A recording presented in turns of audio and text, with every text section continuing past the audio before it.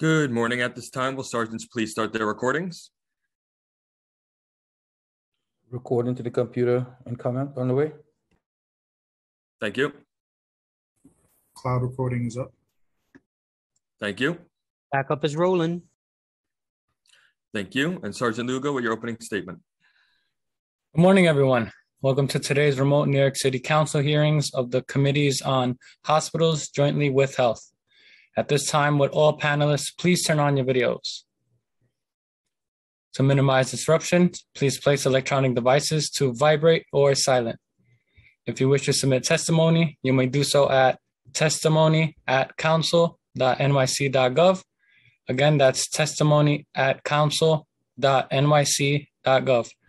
Thank you for your cooperation. Chairs, we are ready to begin.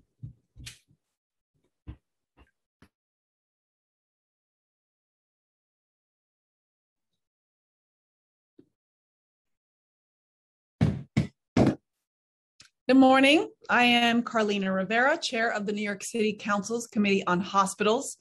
And today, the Committee on Hospitals is joined by the Committee on Health and my colleague, Chair Mark Levine, to conduct oversight on hospital costs and the impact on access to care.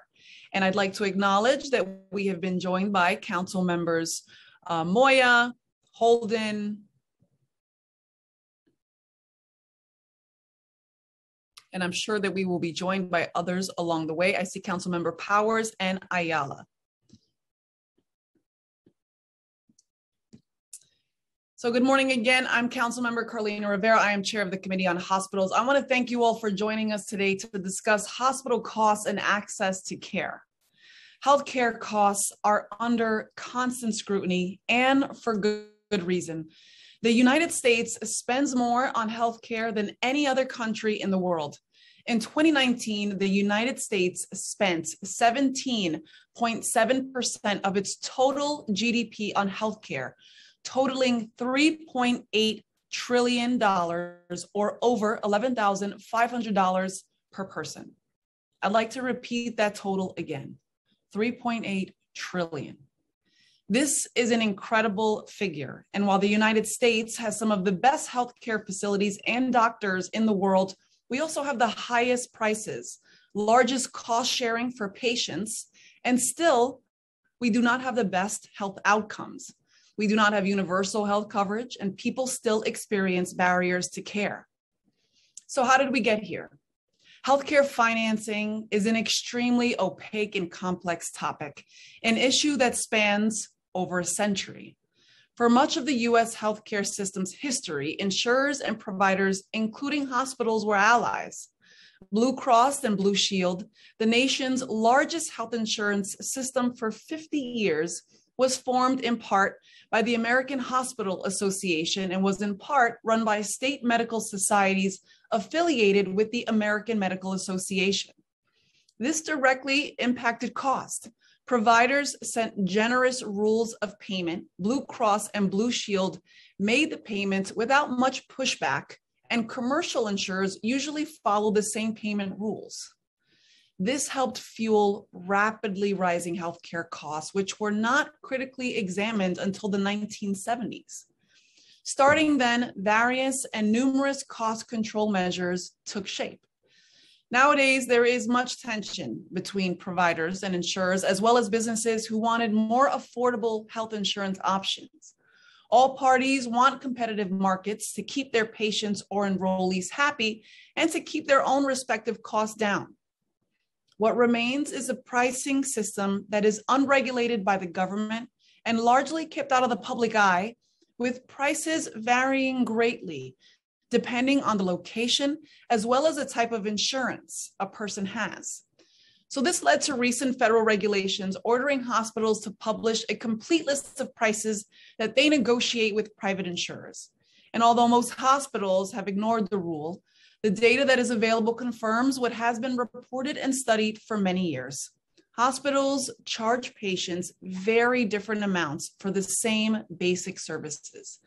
The data shows that insurance coverage and which hospital one receives care in can shift costs by thousands of dollars. Notably, there are several examples of major health insurers, including some of the world's largest companies, with billions in annual profits, negotiating unfavorable rates for their customers, with instances of insured patients receiving care that is more expensive than if they would have pretended to have no coverage at all. A study by the 32BJ Health Fund analyzed data from hospitals in the greater New York City area, and they found that the majority of them failed to fully comply with the new regulations. And while New York City Health and Hospitals was the most compliant, private nonprofit hospital systems, including Mount Sinai, Montefiore, Northwell, New York Presbyterian, Memorial Sloan Kettering, and NYU Langone, were less compliant or fully non compliant. In fact, no hospitals within the Northwell, Memorial Sloan Kettering, and NYU systems reported their prices. Despite many hospitals' lack of compliance with the federal rule, we know that there are significant differences in overall price levels among city hospitals, even those of similar sizes that provide similar services, regardless of the health status of the population served and the complexity of the services provided.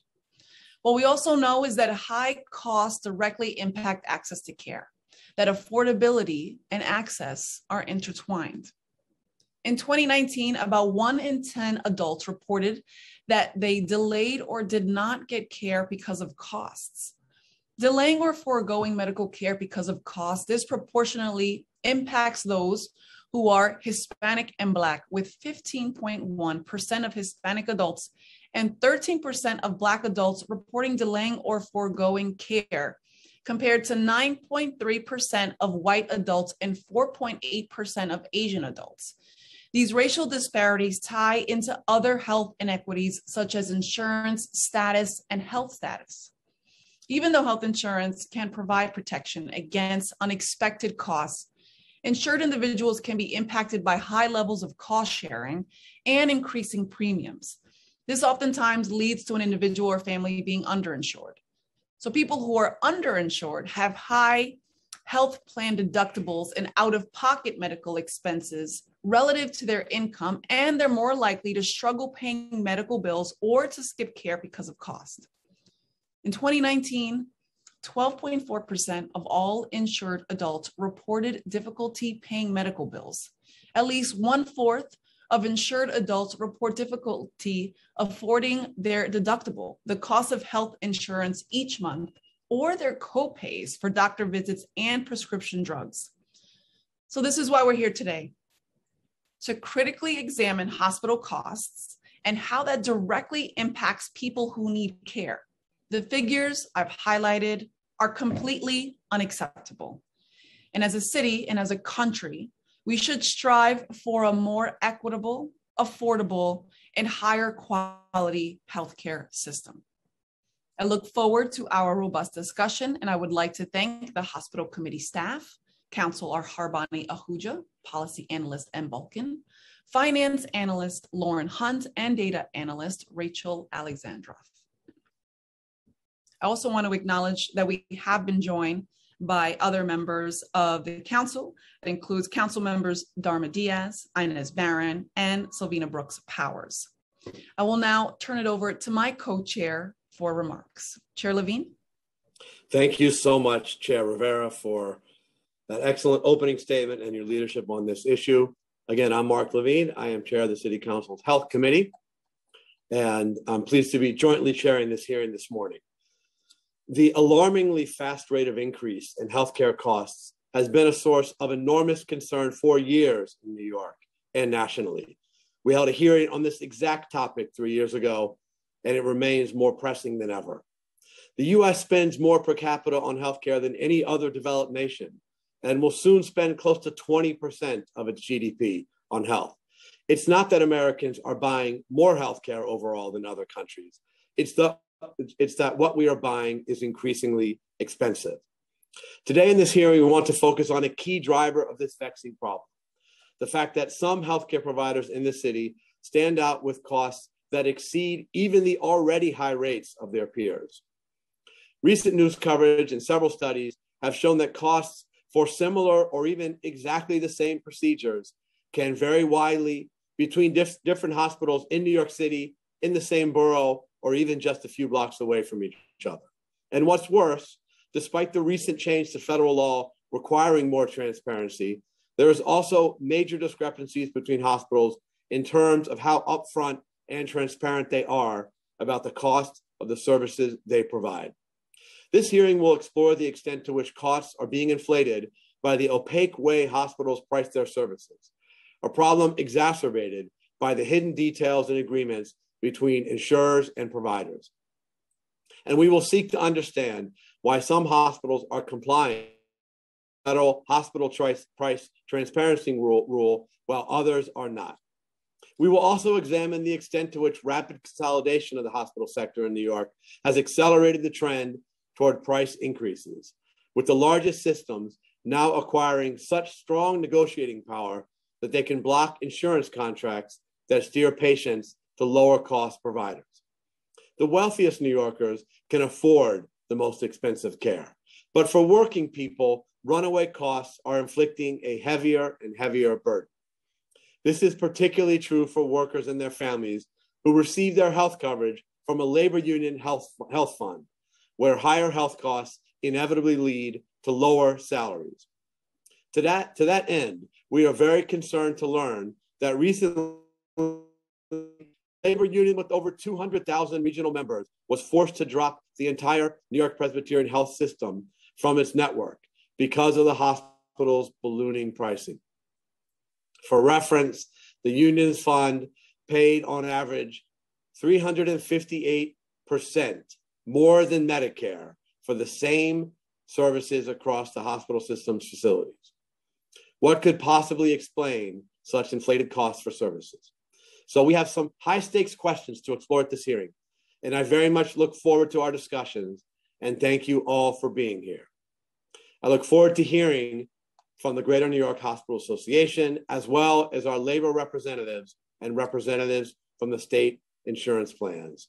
I want to turn it over now to our hearing moderator, M. Balkin, to review some procedural matters. Thank you. Um, thank you, chairs. My name is M. Balkin. My pronouns are they, them, and I am the Senior Policy Analyst to the Committee on Health and the Committee on Hospitals for the New York City Council. Before we begin, I want to remind everyone that you will be on mute until you are called on to testify, when you will be unmuted by the host. I will be calling on panelists to testify. Please listen for your name to be called. I will periodically announce who the next panelist will be. We will call on individuals one by one to testify, and each panelist will be given three minutes to speak. After I call your name, a member of our staff will unmute you. There may be a few seconds of delay before you are unmuted, and we thank you in advance for your patience. Please wait a brief moment for the Sergeant at Arms to announce that you may begin before starting your testimony. Council members who have questions for a particular panelist should use the raise hand function in Zoom. I will call on you after the panel has completed their testimony in the order in which you have raised your hand. And as a reminder, all hearing participants should submit written testimony to testimony at council.nyc.gov. I would like to now call on our first panel to testify.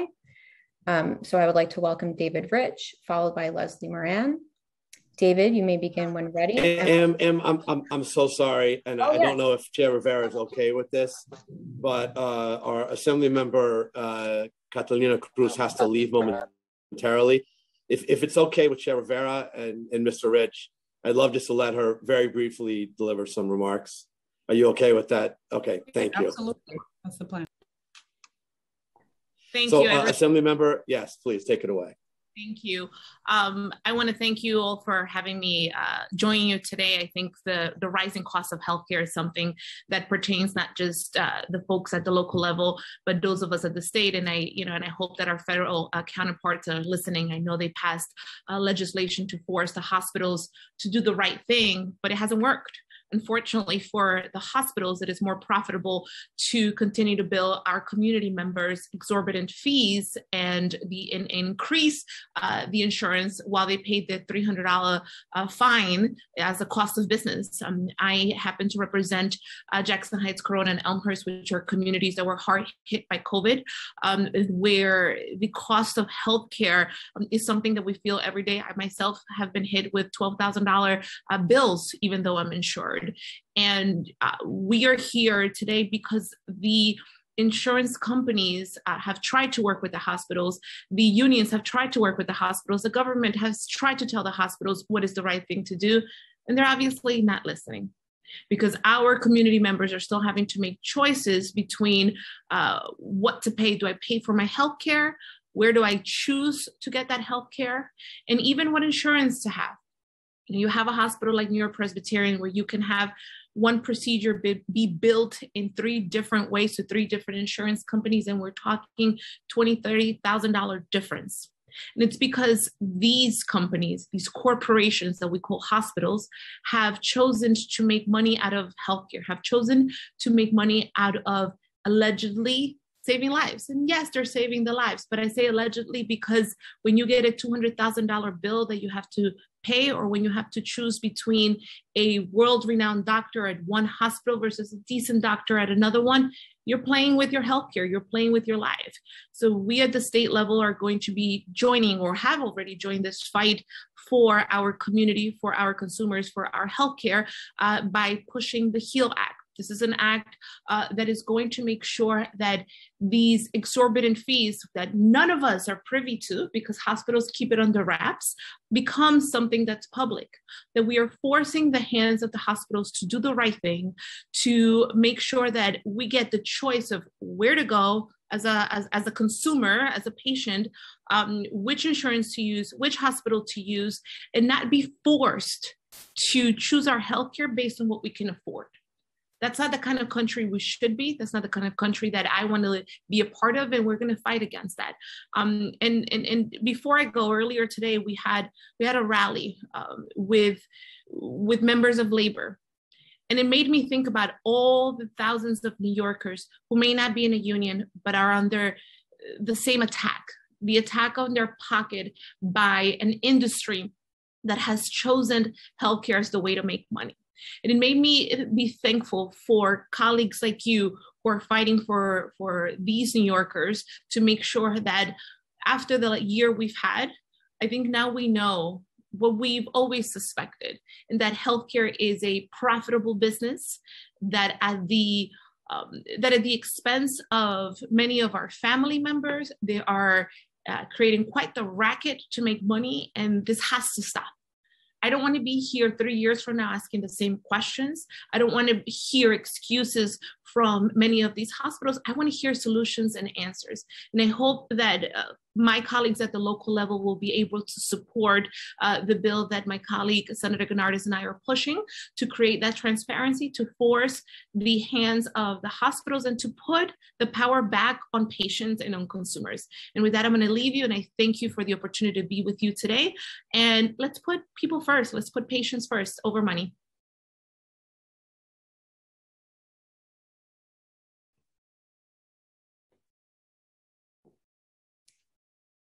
Thank you so much, Assembly Member. Um, I want to make sure that the chairs don't have any questions before moving on. Okay, seeing none.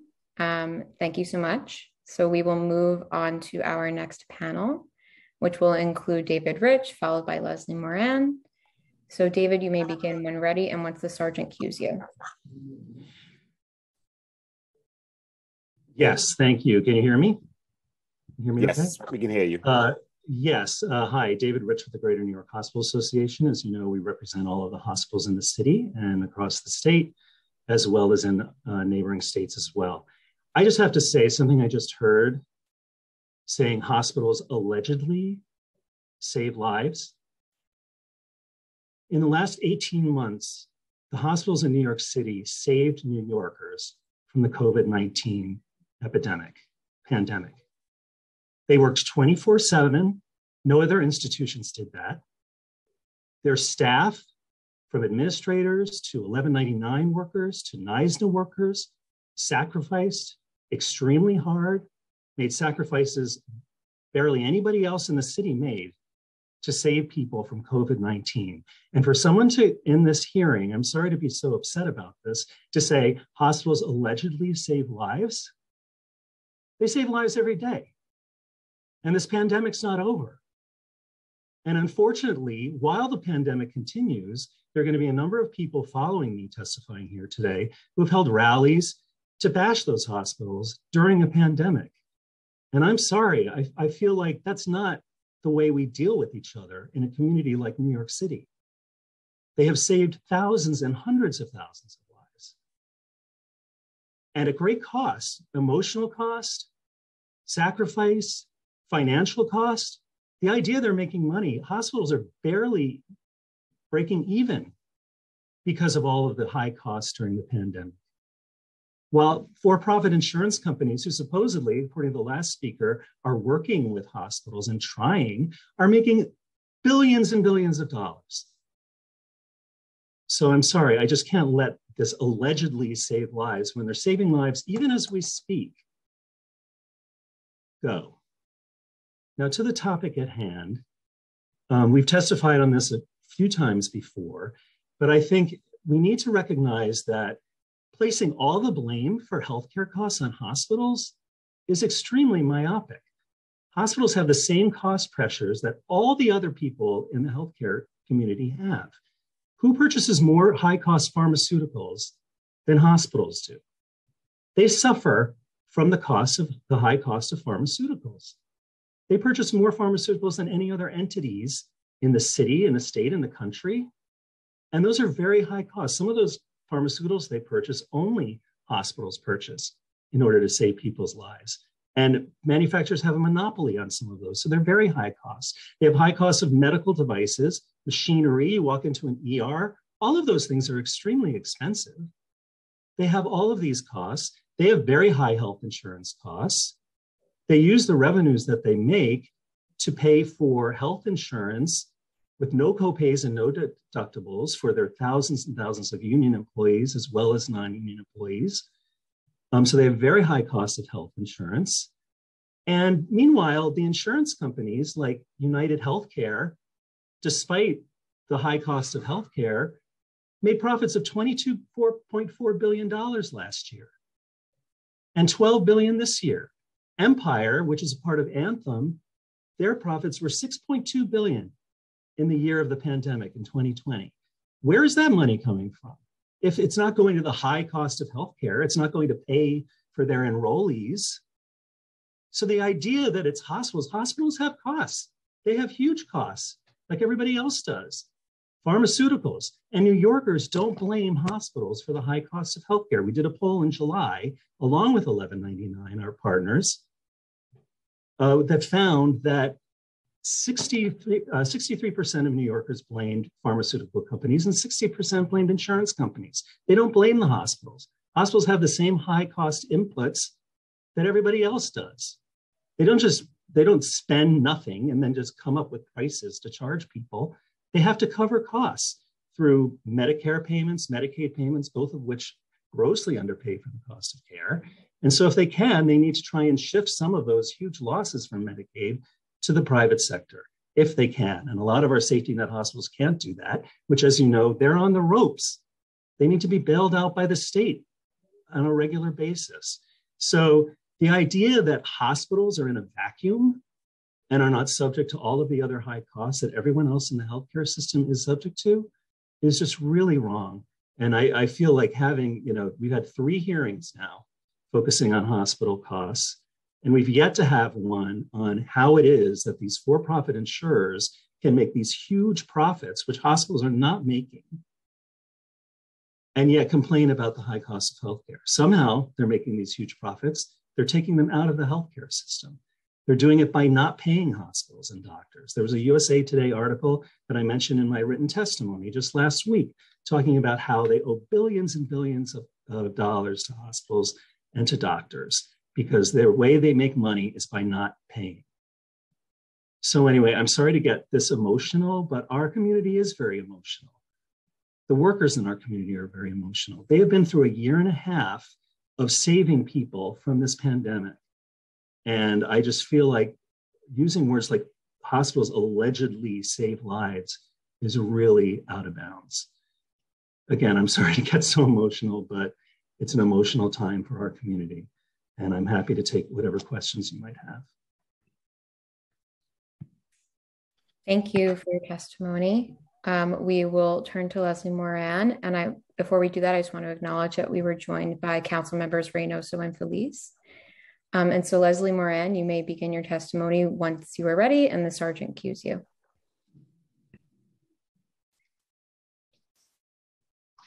Good morning. We good to go here?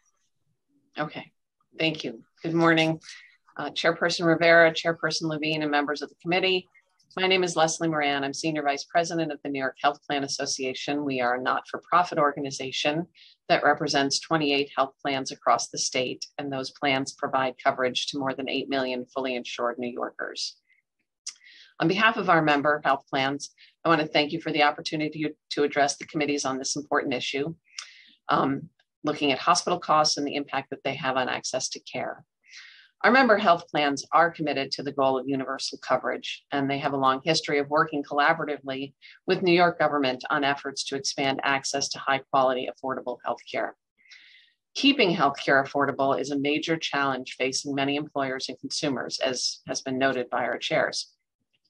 This is especially true now as so many are also struggling with the financial impact of the pandemic. Um, you've referenced it, the chairs have referenced it, and I do not need to tell you about the high cost of health care. Um, and I also don't need to, I'm sure I don't need to tell you that New York has some of the highest healthcare costs in the country, or that New York's costs are significantly higher than the national average. When people talk about health, the cost of healthcare, their reference is usually the cost of their health insurance. That's been acknowledged. The fact is that health insurance premiums and healthcare costs are inextricably linked. The growth in the cost of medical care that's charged by hospitals and other providers, increases in the prices of prescription drugs, and even government taxes and assessments on health insurance results in increases in health insurance premiums. By law, and this goes to a, um, I guess, a comment from Mr. Rich, by law, health plans in New York must spend a minimum of 82 cents of every premium dollar on healthcare. That is a requirement.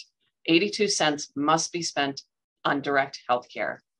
Of that, an average of 42 cents is spent on hospital costs, inpatient, outpatient, and emergency services.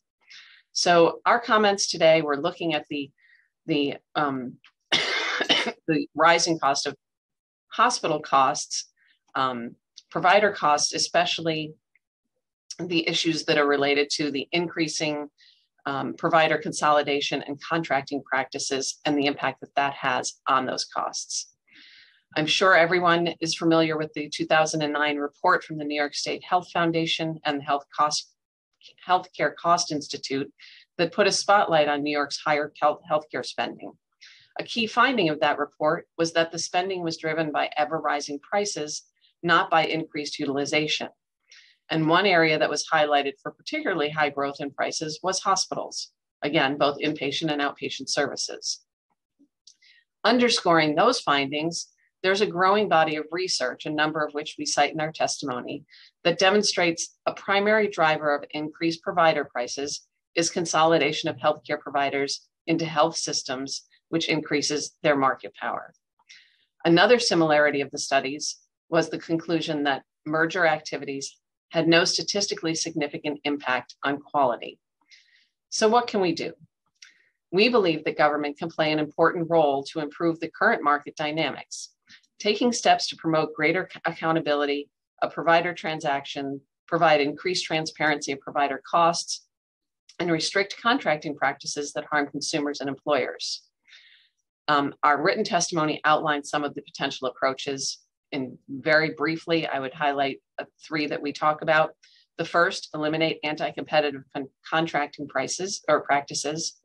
This includes prohibiting all or nothing clauses that require um, insurers to contract with all facilities within a network, even if there's not a, a reason for them to necessarily have every single um, one of those facilities in their, uh, their network promoting quality improvements through contracting that's based on quality measures. There's been a, a movement towards value-based payment uh, arrangements.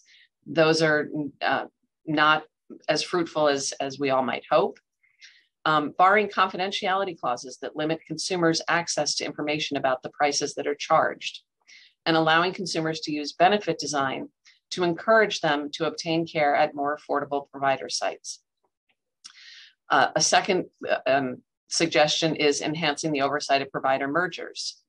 Um, requiring annual reporting of provider entities that merge and asking them or making them hold their prices flat for a three to five year period. This would help ensure that the benefits that are ascribed to merger activities, such as promises of lower costs and improved quality, are actually realized. And third, uh, banning hospital facility fees. This would do away with the practice of hospitals imposing facility fees for services that are provided in a hospital or at a facility that is not on the hospital's campus. As I said earlier, the health plan industry is committed to efforts aimed at reining in the factors that drive increases in the cost of care in order to ensure that every New Yorker has access to high quality and affordable health care. We are committed to working with you and others in the other policymakers on measures that are directed at these goals. Again, I thank you very much for inviting us to be here today. We appreciate the opportunity to offer our views and our comments, and we're happy to engage in further discussions with the council. Thank you. Thank you so much for your testimony. We will now turn to the chairs for questions. Chair Rivera. Thank you so much for being here today and for your testimony. So, how do hospitals communicate with patients before they receive care about their potential costs? So they do it in a variety of ways. One of the um, requirements of the um, Trump administration rule from last year on price transparency was to either post the um, prices of 300 uh, shoppable services or provide a cost estimator. And what most of our members have done is provide cost estimators on their websites, um, which was an option they could do in lieu of the um, 300 shoppable services. I just do want to say that I take exception to the idea that they have ignored the federal rule. It's an extremely complex rule. There are literally millions of codes of negotiated rates and items and services that hospitals provide and it's an extremely hard thing for them to put together. The rule went into effect during the second wave of the pandemic. So there was a lot going on in the institutions at the time. They are trying as hard as they can to comply, and I expect that they all will um, in very short order.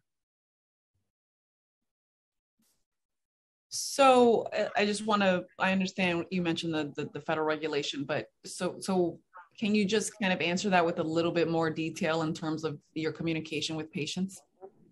Yes, so they have, so what they can um, point patients to before they actually receive a service, obviously, if it's a scheduled service and not the many emergency services that hospitals provide day in and day out.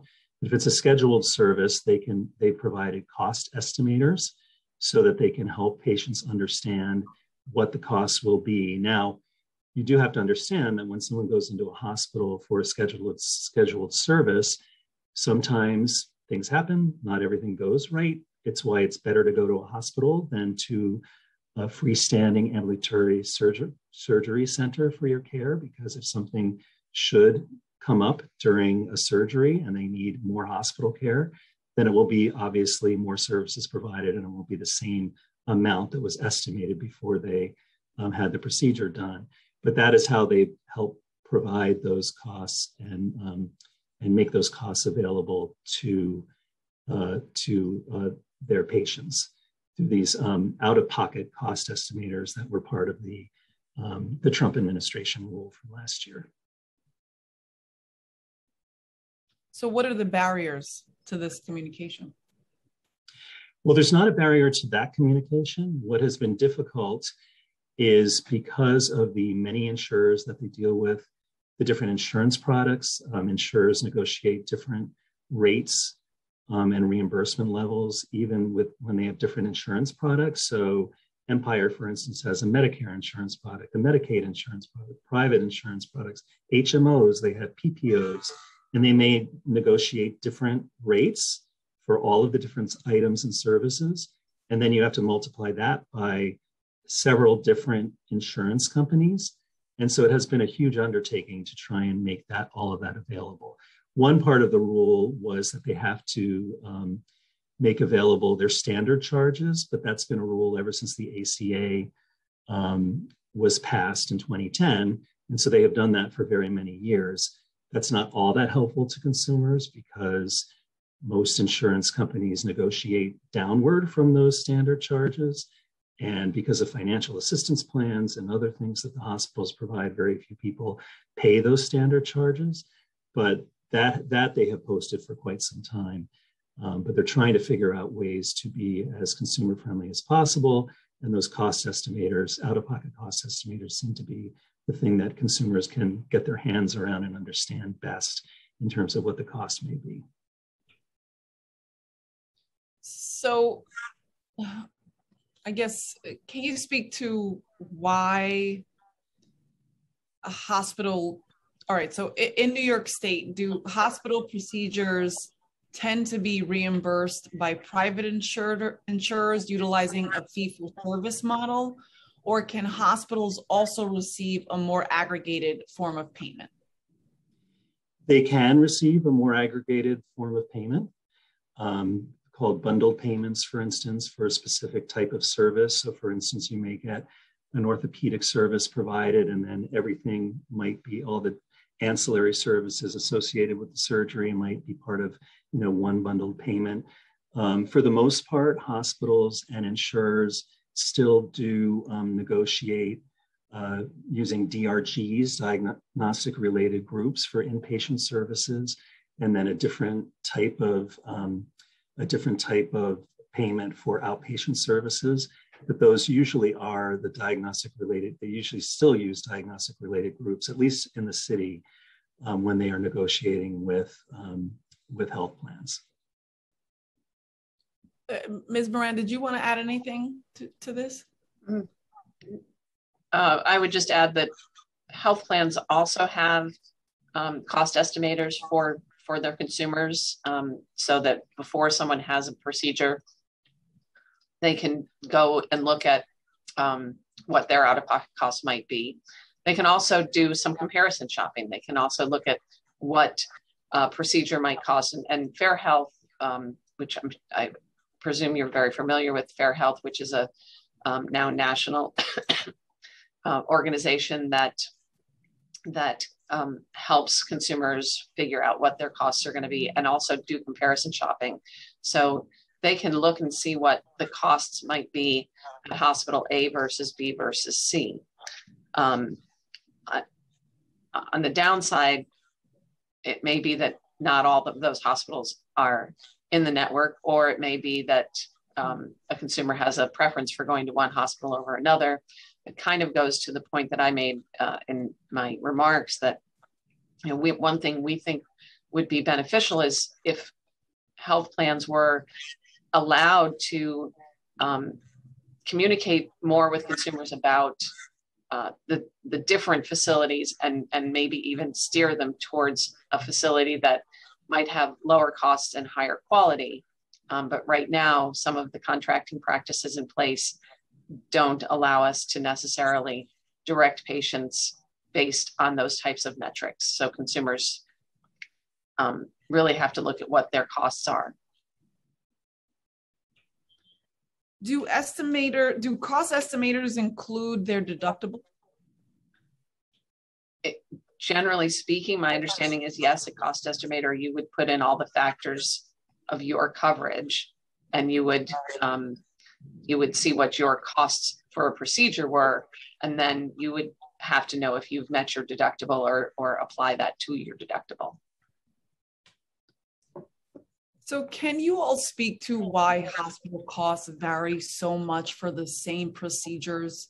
For example, why one hospital system charges $9,000 for a standard colonoscopy, while the average of all the others is only $4,000?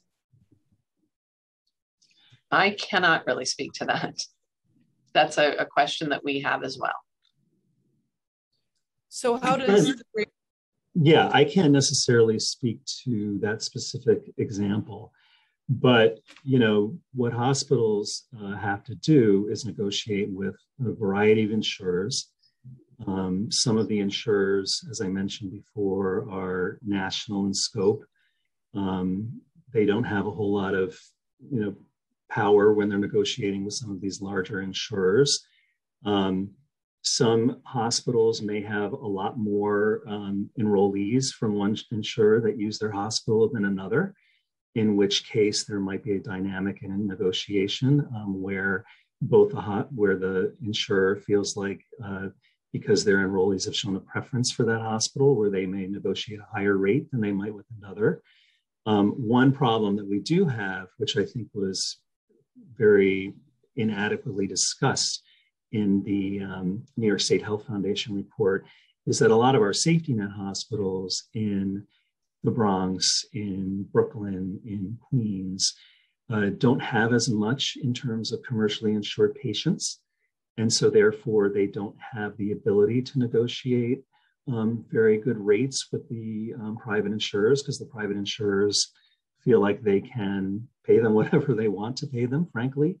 And so they tend to have lower rates than hospitals who have a higher um, level of commercially insured um, patients because the insurance companies feel like they need to compensate them in, in order to take care of a large number of their enrollees. So though that can vary. If you're a teaching hospital, you have much higher costs than you do if you're a non-teaching hospital um, for a whole variety of reasons, including that you take the most complex cases. The community hospitals will transfer to you. So you have the high cost cases, you know, disproportionate number of the high cost cases opposed to the low cost cases.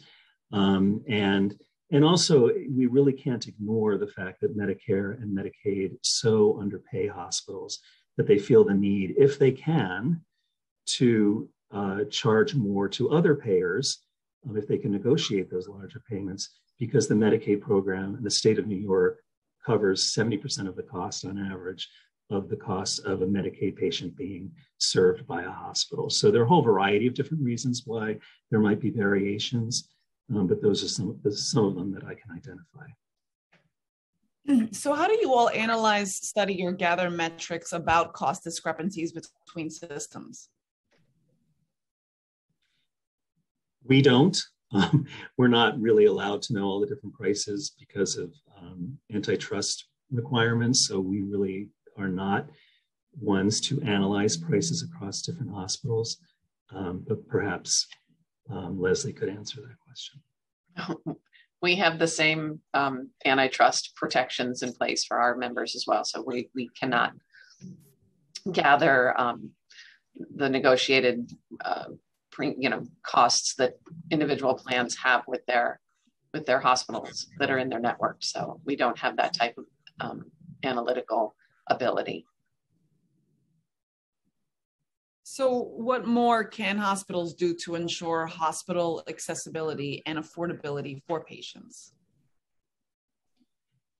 Well, I think that there are a variety of things that they um, currently do um, and that they can continue to do. Number one, um, they do have um, robust financial assistance policies, many of which go beyond the state requirements for financial assistance. Um, they also are, as I mentioned, providing the cost estimators so people can understand the costs. They, unlike any other provider, not physician groups, not freestanding AmSurg, not anyone else, take everybody who comes to their doors. So obviously, they are the most accessible providers that there are out there.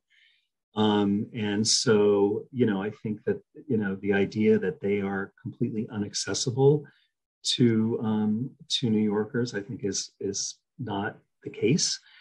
But I think you know, look, they, there are lots of things that they are trying to do to become as accessible as possible. Thank goodness New York now has a relatively low uninsured rate. Um, what they also try to do when people are on, come in and are admitted to the hospital is they immediately try to um, sign them up for whatever public health insurance they're available is available to them and they're eligible for. So they sign them up right away for Medicaid. If they're an undocumented person, they sign them up for emergency Medicaid. Um, they'll sign them up for the essential plan to the extent they can. Um, in a whole variety of different ways. And we've always strongly supported, along with our partners 1199 SEIU, all of the different public health insurance options that New York has taken and hopefully will continue to take um, in the future to make sure that healthcare is as accessible as possible to all New Yorkers. And, and you mentioned the, the federal rule and, you know, starting January 1st of this year, the federal hospital price transparency rule required hospitals to display files on their websites containing gross charges, uh, payer specific negotiated charges, discounted cash prices, and de-identified minimum and maximum negotiated charges. And so, what percentage of your members are complying with this rule? And for those that are not complying, what is the reason? So I did mention this before. Um, I don't have a percentage, but all of them are complying with the standard, you know, the standard charges requirement, which, as I mentioned, has been in effect uh, for a while because the ACA required that. Um, they are um, all all either um, complying with the 300 shoppable services or the cost estimator, which there was a choice in the rule to have the cost estimate, out-of-pocket cost estimator that I mentioned before, or uh, list the 300 shoppable um, services that um, and their negotiated rates. What they have been struggling with, very frankly, is the um, the requirement that they put every single item and service and the negotiated rate with every single insurance company um, on their website. That has been difficult to comply with. We have um, a number of hospital systems that have, but we have others who are still struggling with that. And frankly, where our safety net hospitals are going to have the, the people power to actually comply with that kind of requirement when they are working as hard as they can just to keep their lights on is really an issue. I think they need some help. They need resources. We all know they need resources, but it is going to be very difficult for them to come into compliance with um, that kind of a rule that will require them to take people away from other um, duties in order to go ahead and um, comply with that rule. Well, as I mentioned in my opening statement, H&H is compliant, uh, friendly reminder. So what, what can the city do to ensure better compliance from others with, with this rule? And how has this rule helped patients receive better care? You know, I don't know. It depends on whether this rule really helps patients understand what they're looking at.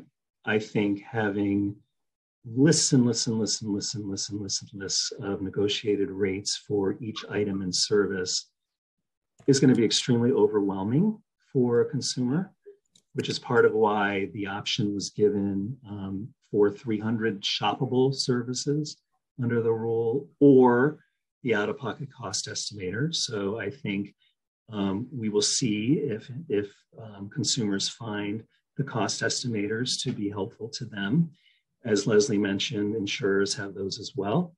Um, it really is the insurers who have a better sense of who is still enrolled in their insurance plan, what their deductibles are, how much of their deductible they've met. It's very difficult for a hospital to know that in September that a person might have either used none of their deductible yet or all of it yet. Um, so in, in many ways, I think the insurer really has much more of the information that um, a consumer might need than a hospital might.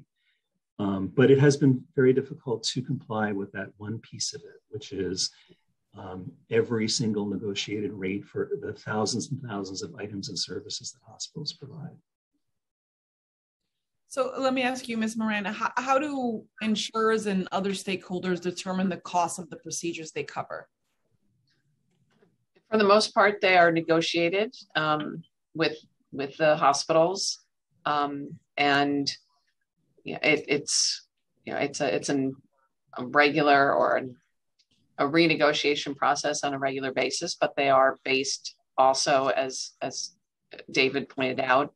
There are some kind of guidelines, some uh, the diagnostic related groups, so you you know what is kind of usual and customary, if you will. Um, but you know, to to David's point about the overwhelming amount of information for consumers. Um, you know, uh, everybody gets their insurance policy and it's you know a hundred pages long, and most everybody sticks it in a drawer someplace, thinking I'll read it if I need to to see what's in there.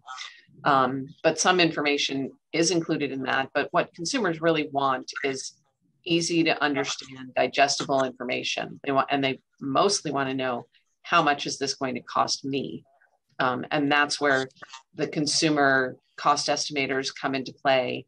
It's where um, health plans, customer service departments come into play because a consumer can always reach out and talk to someone at the plan and have someone help them walk through what the procedure is, what their deductible is, what the cost might be um, at different facilities. Again, where we can't help a consumer is by saying to them, hospital A has, you know, better quality rating or hospital B has, you know, the same quality rating, but uh, a lower, um, charges a lower price for that procedure. So that's, you know, that we think that's someplace where um, we could use help from policymakers in order to make it easier for consumers to get that type of information on um, quality and value at, at the different facilities that they might be considering. All right, so I, my last, I'll ask one more question and, and turn it over um, to my co-chair. I guess, Ms. Moran, in 2019, as I mentioned, more than 10% of adults have reported uh, that that uh, they delayed or did not get care because of costs. What what is being done to address this? Um, that's a, a, very good question. Um, we work hard with patients and, and consumers to try and make sure that they understand what what their coverage is. Um, but again, as I said, for many, many people, it's what is it going to cost me? And, and it's a conscious decision to um, take a, a policy that might have a higher deductible because the premium remains low. And you have someone who thinks, I, you know, I'm never going to meet that deductible because I'm healthy and, I, and nothing's, you know, I don't have any serious healthcare needs and I just want to make sure I have coverage. And then they turn around and something happens and they're saddled with um, they get sick, they get COVID um, or anything else, and they suddenly need to go to the doctor, but they're worried about meeting that deductible. Um, you can't unwind and go back and change the decision that was made at the front end to take that health plan. The only thing we can do is try and better educate consumers about the the um, value of the products that they are buying and make them you know consider all the various scenarios that might come into play um, so that they're aware of it. But ultimately it's a consumer decision.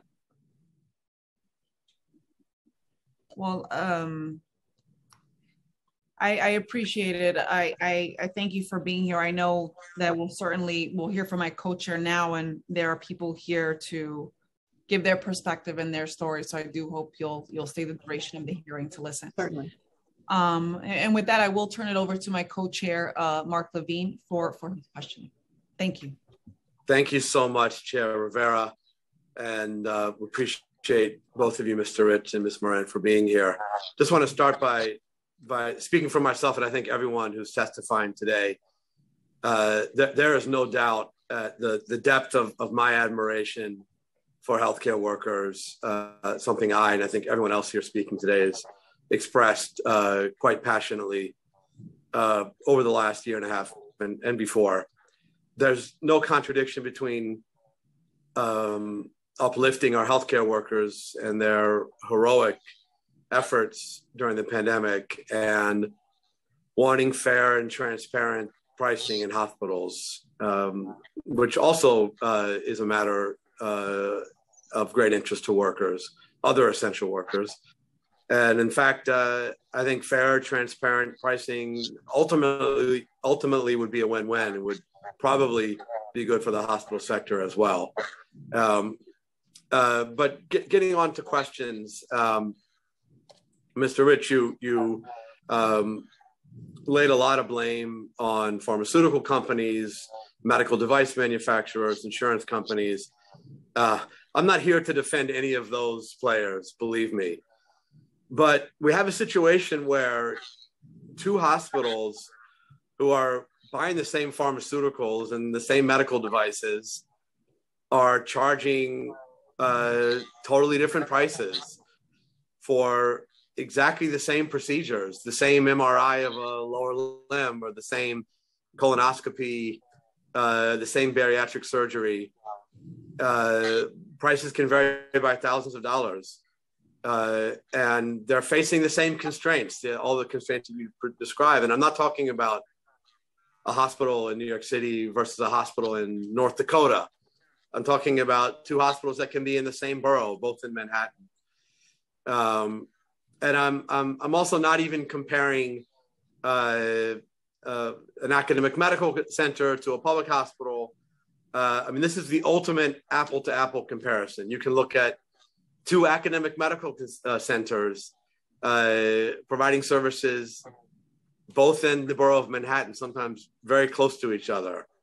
And the prices can be quite different. And I, I've, I've tried to study this issue. I can't wrap my mind around how that's possible. So perhaps you can explain the differential in pricing where the only variable is which hospital system the patient's going to. Sure, and I'm, I'm glad you asked this question because it gives me an opportunity to um, to make a point that I think will be um, made in a confused manner later. We have one of the most competitive, if not the most competitive, hospital system in the country. We have six major hospital systems competing with each other. Um, H and H, we have Montefiore, we have Mount Sinai, we have NYU, we have Northwell, and we have NYP. So the idea that there is one dominant healthcare system that is able to just sort of, you know, you know, a monopoly is absolutely not the case. We also have smaller hospital systems. We also have a whole variety of independent hospitals. So, so this the the uh, the accusation that is sometimes made that we have hospitals with so much market share that don't have competition um, and can do whatever they want is just not the case here in New York City. Um, they have major um, competitors, and if prices vary, they probably vary for a whole lot of different reasons. These are also prices I should point out, and as you know, as Leslie mentioned, um, they're negotiated rates with insurance companies, who, by the way, are consolidating more and more um, between United Healthcare and Aetna and um, and Empire, which is Anthem at the national level. So, you know, I can't totally give you all the reasons why there may be a hospital system that has higher prices for one insurer, lower for others, um, because those are all subject to the vagaries of negotiations between two parties. Um, but I do know that we have an extremely competitive hospital system. The places where they've talked about mergers increasing prices are really places where there's one hospital system for the whole area, or maybe two. And there's very little, you know, there's very little the insurers can do about lowering prices. That's not true here in the in New York City. Um, people have a lot of choice, and there are a lot of different hospitals that they can go to. Um, and so, anyway, uh, that's that's my answer, such as it is right now. Sure. Uh, thank you. I want to acknowledge just uh, for a moment that we've been joined by two of our colleagues, uh, Councilmember and Dr. Mathieu Eugene and Councilmember Ampry Samuel. Um, and you said that there are six, uh, you pointed out that there are six um, major hospital systems in the city, but uh, boy, that number is way down. Uh, we have seen a pretty remarkable wave of consolidations and mergers and, and, and even some closures over the past uh, decade or so. Uh, I mean, dozens, uh, dozens of, of these types of, of transactions. And one of the basic rules of the marketplace is when you have fewer uh, entities competing uh, it gives them the chance to raise prices. Uh, why why doesn't that that rule apply here when the number of hospitals competing in the marketplace has gone down from scores to now uh, only six? Well, it's not only six because there are independent hospitals and there's also, you know, uh, Sloan Kettering, Special Surgery, but also a lot of independent hospitals in the city. But, you know, they're negotiating, they all want, you know, as much market share as they can get, and people can vote with their feet. People can decide they'll go to one hospital system rather than another. And the more transparent these prices become, the more people will be able to do that and the more that i you know again i think it's the insurance companies that are the best equipped to provide these cost estimators because they know what how much of a deductible someone's used or what part of it you know if they have an hsa or an hmo um, i think over time but there this is a this is an incredibly um, an incredibly dynamic and competitive marketplace. I should also say that the state has encouraged large systems to take on smaller hospitals that are having difficulty surviving on their own. Um, we've seen that in hospital systems um, helping out and taking and downright taking over hospitals in Brooklyn, in Queens, in the Bronx, in southern Westchester, Montefiore with Mount Vernon and and uh, New Rochelle Hospital and some others. So that's been that's been a policy of the state to try and help these smaller hospitals that are more financially challenged become become part of a larger system so they can benefit from some of the um, scaling opportunities that they have being part of a larger system by by definition with pricing uh, this inconsistent there's some sort of breakdown in the normal kind of competition that uh, would generally flatten prices in a marketplace. Uh, and I I cited uh, a, a, few uh, procedures earlier uh, that that are, are, are a few where uh, researchers have determined uh, wildly divergent divergent pricing. Um, just how much variation is there? how much variation is there in the cost of a colonoscopy? between the highest and lowest priced providers in New York City? That I do not know because we are, again, we're not allowed to collect pricing information because of antitrust issues amongst our members. Um, it's possible that Leslie representing the payers would have a better sense of that, but I that information I do not have.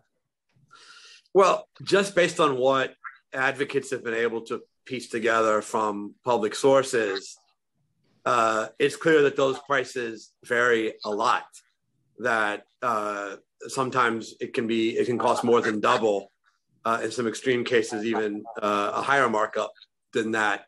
And, and these are very expensive, expensive procedures. So you're talking about thousands of dollars potentially um, for exactly the same procedure. And, and I just want to re- reiterate, it's such a key point.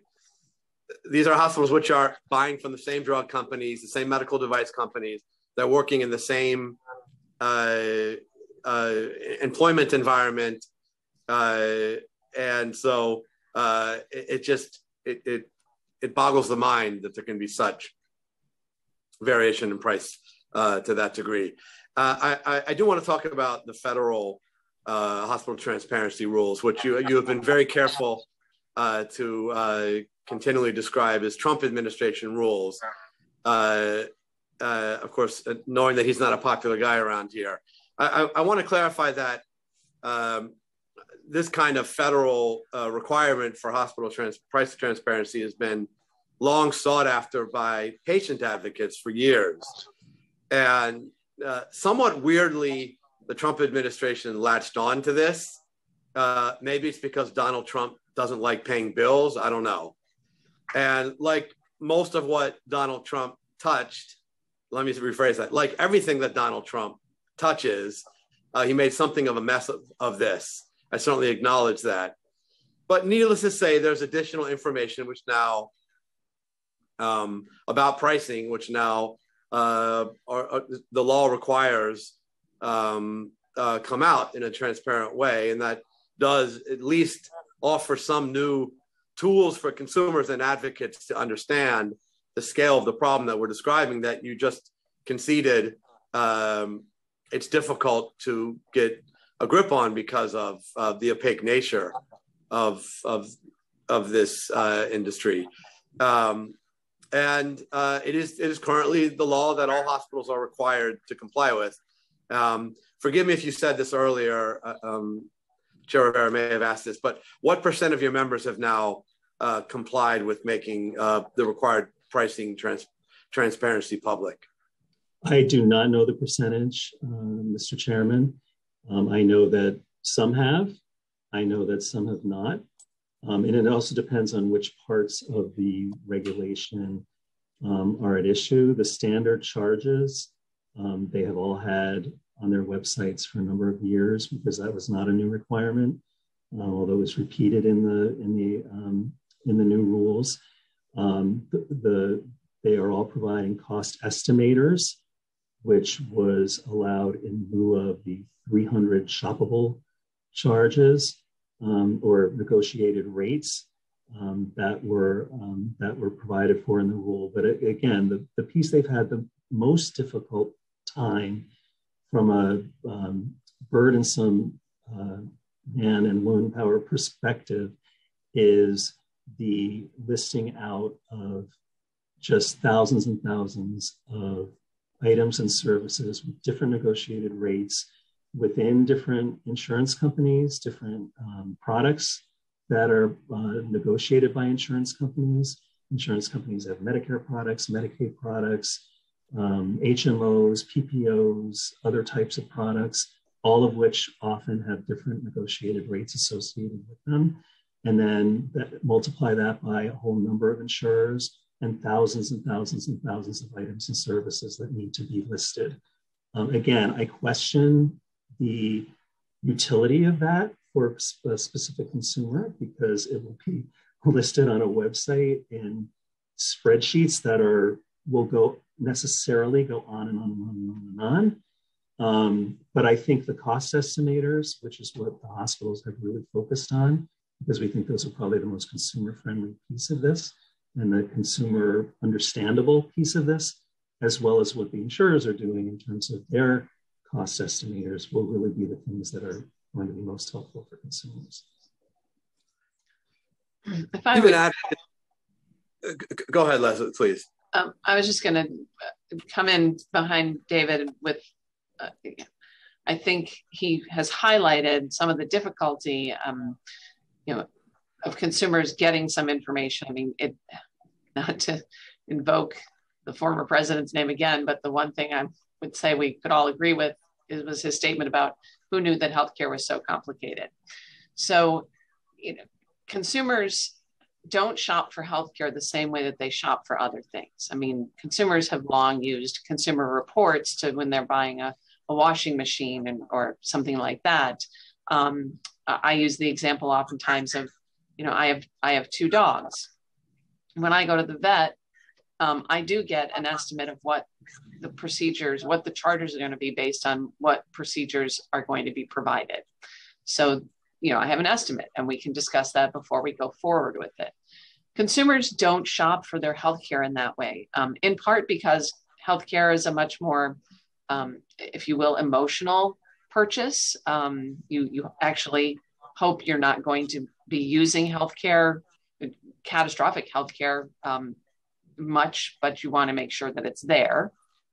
Um, but it's also, uh, you know, people don't pick their doctors. They pick their doctors not based on what their charges are going to be, but by whom their neighbors have recommended or who they have a relationship with. So it's a very personal um, service, if you will. So, and, and I think it can be overwhelming to consumers to get an overload of information on the flip side, I would point to some of the progress that we've made. I mean, if you look at um, the New York State of Health, you are able to go into the New York State of Health, the, the marketplace, and plug in your parameters for what you want, and up will pop a number of choices of health plans for you to choose from. And you'll get the very basics on what your premium would be, what your deductible would be. Um, you can then drill down and find out what the networks are of you can make sure that a doctor you want to see is within that provider network. A hospital in your community is in the in the provider network. So there are there's more information as you drill down. But many consumers get overwhelmed as they go down page after page after page of this information so i would just argue that there are ways we can try and simplify it and make it easier for for consumers but at the same time you want to make sure they have access to that wealth of, of information that truly is necessary for them to make the best decisions, best and most informed decisions for what's best for their healthcare needs. It's, yes, look, it's true that if I have a medical emergency of some sort, I'm not going to pause and and uh, navigate to a federal website to review pricing. You're going to go but, and get it taken care of. of course, but all the more reason to ensure we have fair pricing in those circumstances because the patient isn't going to be able to to shop around and that uh, without constraints that and, can be exploited right and, and, that's why that's why we've taken steps in new york um, through you know landmark legislation in new york to protect consumers from um, surprise medical bills surprise billing but, and, but even but but even uh, in cases where it's not an emergency, where it's a scheduled procedure. Uh, and so I have time to uh, think about where I want it done. Uh, it's it is you, you need a master's in in uh, economics at least to to figure this out. Uh, and uh, it, it, it's just no easy way, even if you have time to sit and review where you want to get the procedure done to easily compare prices. And you know, the, the truth is that the the federal transparency rules um, really uh, are not perfect, and uh, I think advocates have made that point um, uh, quite quite uh, openly. But you know, the the hospitals could could solve this on their own. They could do better. Uh, they could take the federal rules as a baseline and create really clear, transparent, consumer friendly, apples to apples communication on this. And the fact that that hasn't happened uh, uh, make, makes me wonder how committed uh, the hospitals are to solving this problem. Uh, what, what, what, what do you say on that, uh, Mr. Rich? I think they have. As I mentioned, they have put into effect the cost estimator option that was a part of the rule. They made a priority of doing that because that is the, the, the one piece we think of the rule that is going to be most helpful to consumers. They want to you know, go to a cost estimator, figure out what their out of pocket costs would be. I mean, it also, I mean, one thing that I think Leslie was getting at too is I know when I have a procedure and you know, I rely on my doctor to refer me to a surgeon who uses a specific hospital. Um, and that's pretty much how I make my decisions because I trust my doctor and I, tr- you know, and, and where he or she is going to uh, send me. So, you know, the, the shopping around doesn't happen quite as much as people might think it would because of that dynamic. But again, they are committed to this. They've done the cost estimators. Again, I think they've made a priority of what they thought consumers would find the most helpful, as opposed to the Excel spreadsheet that goes on for thousands and thousands of pages. And so I think uh, I think they're very committed to it, and they've done that. And by the way, um, the speaker before us said the $300 million fine. Those fines have now been up to um, up to $2 million, depending on the size of the institution. So the idea they're just ignoring this, they never ignore laws or regulations. They are trying really hard to comply with what is an extremely complicated rule. Um, I did want to ask a couple questions uh, to Ms. Moran. Um, uh, Mr. Rich had stated, uh, and it's been widely reported, that uh, the pandemic has been very profitable for uh, the insurance industry, particularly for large insurance providers, uh, which which are covering the great majority of New Yorkers. Uh, how can you explain uh, what what Mr. Rich called multi-billion dollar profits um, in the face of of what appears to be uh, what clearly is overcharging uh, of patients? Well, um, first of all, I would go back to my comment that in New York and even and nationally, there are requirements set in statute for what percentage, what how much of each um, health insurance premium dollar must go to pay for medical care. In New York State, it's 82 cents of every dollar or 85 cents if, in the small group market. Um, nationally, it's 85 cents of every dollar. so those quote profits that that you're talking about some insurers making are largely from investments and dividends and things like that. They're not coming out of the premium dollar. That premium dollar has to be dedicated to um, health care. Um, and when you look at the actual profit margins or the rate of return for health insurers nationally um, and those in New York State, uh, you know, those making a, a profit margin of 4% is rare. So they're on par with many hospitals and what hospitals are making. And, and many of our plans are making, uh, have a return of less than that. Um, so I, I, think talking about the two things uh, together is, is not accurate because the premium dollar goes to, to healthcare profits come from other investments and other um, things within the insurance model. I would say that during the pandemic, um, health plans were not making a lot of money. They were actually, uh, health plans were asked and responded um, to providing healthcare services for COVID treatments, for testing, for vaccines, all without any cost sharing. Many of those uh, emergency regulations are still in place. So plans were paying for those costs without anything coming out of the consumer's pocket, which we agreed was the right thing to do.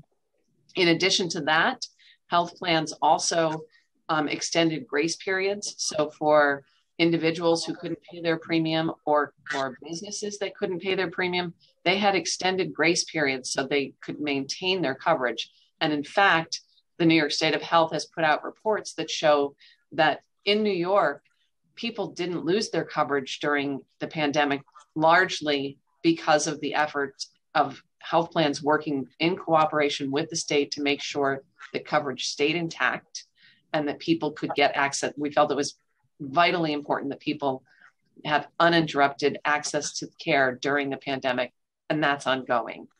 Um, and then lastly, I would point out that those costs that plans have absorbed in terms of delayed premium payments, in terms of paying for um, hospital and, and doctor services and vaccines and um, testing and treatment for COVID, um, those are costs that the plans have to absorb and will be seen probably in losses that we will start realizing this year and next year. So we haven't really seen the impact of the COVID um, pandemic on health plans. There have been some national estimates that say that the impact on health plans, what they've absorbed will be in the 60, 60 billion dollar range or higher.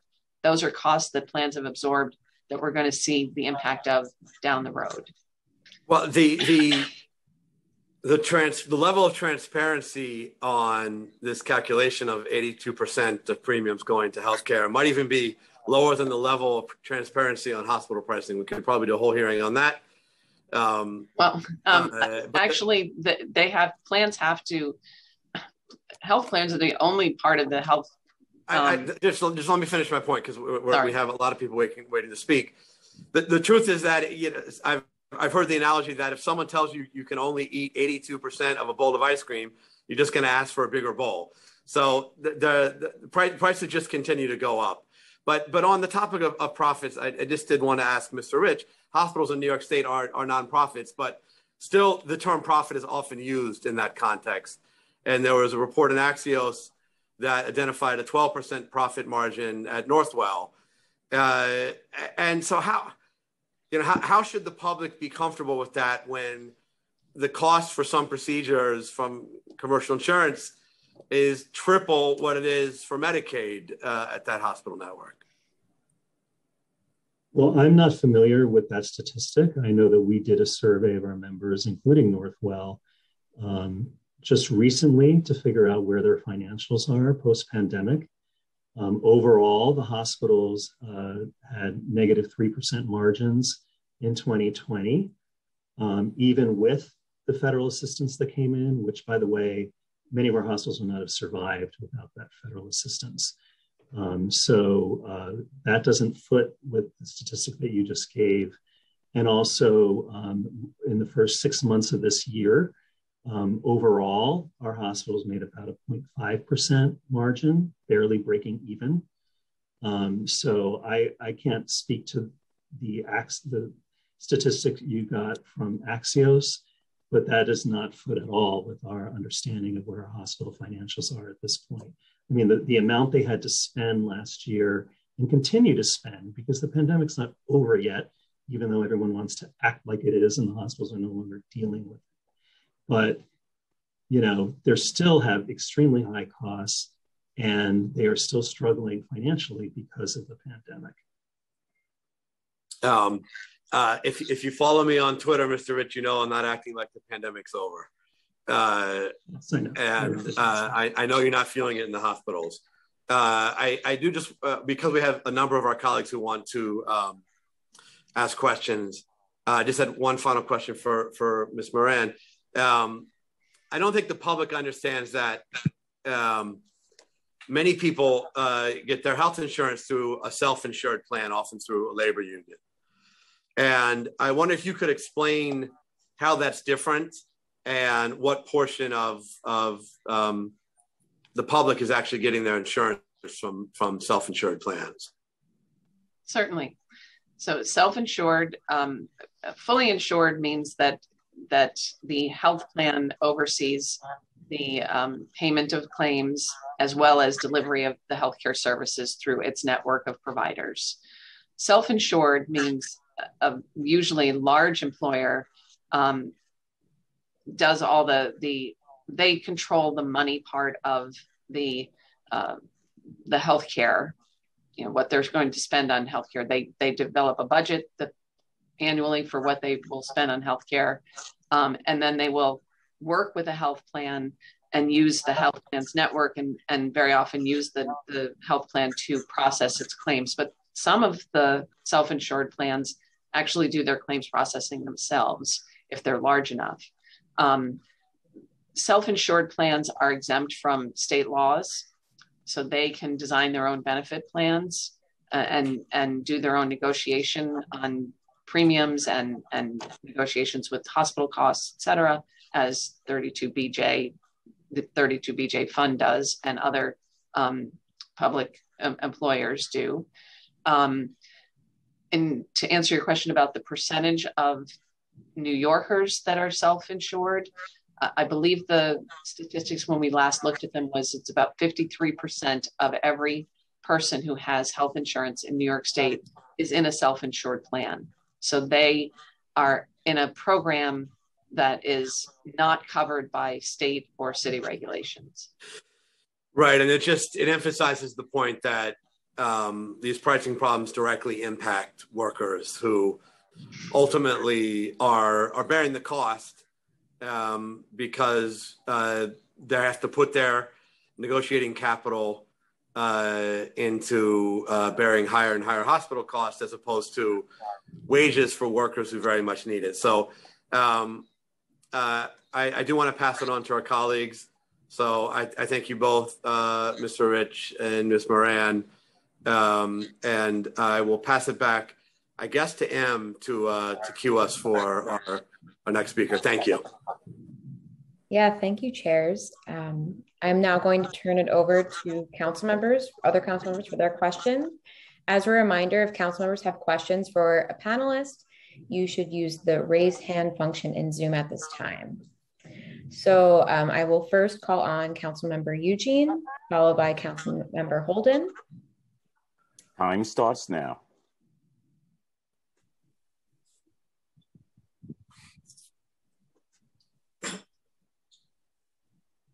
So um, Councilmember Eugene um, may be having some technical difficulties. So instead, I will turn it to Councilmember Holden if Councilmember Holden is ready.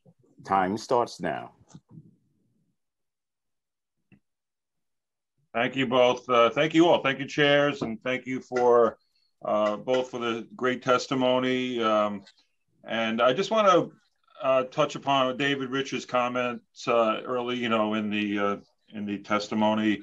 Um, by the way, Mr. Rich, I agree with you. The Assemblywoman's unfortunate comment that hospitals allegedly save lives was hurtful and disrespectful to the thousands of dedicated men and women who serve every day and night in our hospitals with so many stressful situations. They do save lives. There's no doubt about that. So I agree with you, David.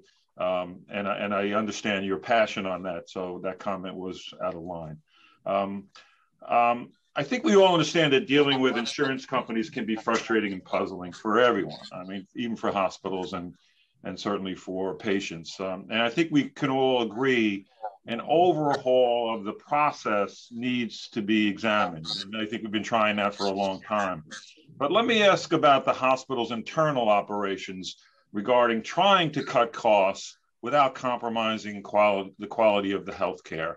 Uh, for instance, I'll give you a couple of examples. Um, I had a recent hospital stay along with my mom. My mom was 97. She had a hospital stay. And I noticed something that was very curious in both stays that I didn't notice when I, I was in a hospital very, very long ago, years ago, like let's say 20 years ago.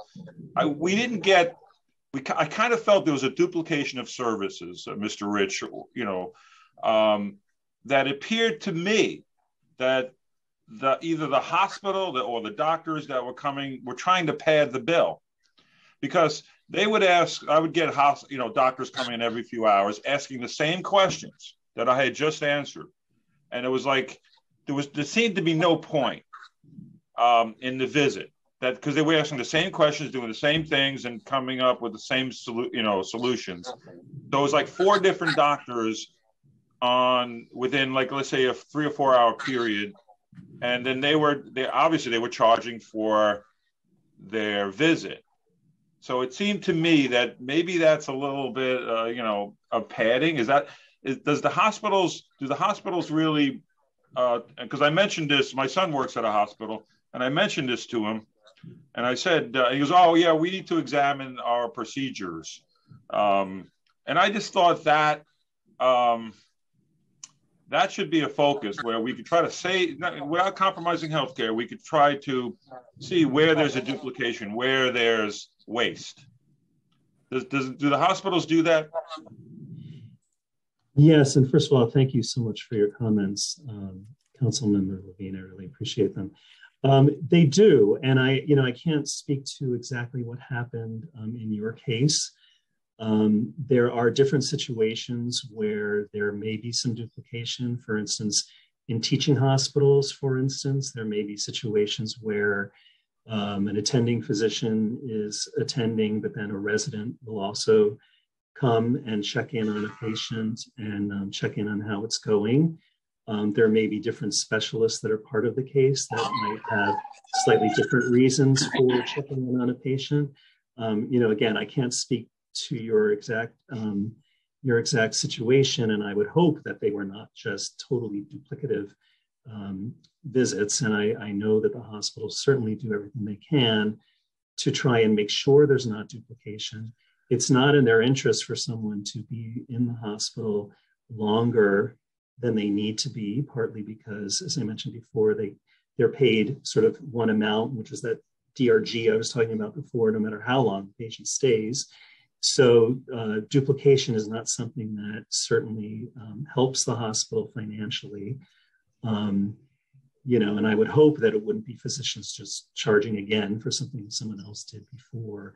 But certainly efficiency, especially given um, the, the difficulty with low Medicare and Medicaid reimbursement rates um, and uh, and other you know difficulties in terms of downward uh, downward pressure on private payer reimbursement rates. The hospitals are certainly doing everything they can to become more efficient, which is not to say there's not more that they could do. Yeah, so Um, I, I, but they I certainly think are working very hard. I think if a hospital was made to look at trying to keep costs down, that's the goal. Try, and I know they probably do it, but in this case, I had again four different doctors with both my mother and me that they weren't communicating with each other, and then they were asking us the same question and taking up the time and same. You know, it's just like I could see a tremendous waste here. If one doctor did it, and they all communicated, they have to visit. So just that was a small example, but I, I could I could see that if we really made it an effort to cut costs, we could probably do that within the hospitals. But I, I agree, we shouldn't blame the hospitals for the um, you know the rising cost of healthcare. I think it's um, it's a number of reasons. But I, again, I want to thank you you all for your testimony. I think uh, we really have to get busy and and try uh, try to cut costs, but without you know, like I said, compromising healthcare. Thank you, thank you, Mr. Rich. Thank you, member. Thank you, Councilmember Holden. We will now turn to Councilmember Eugene. Time starts now.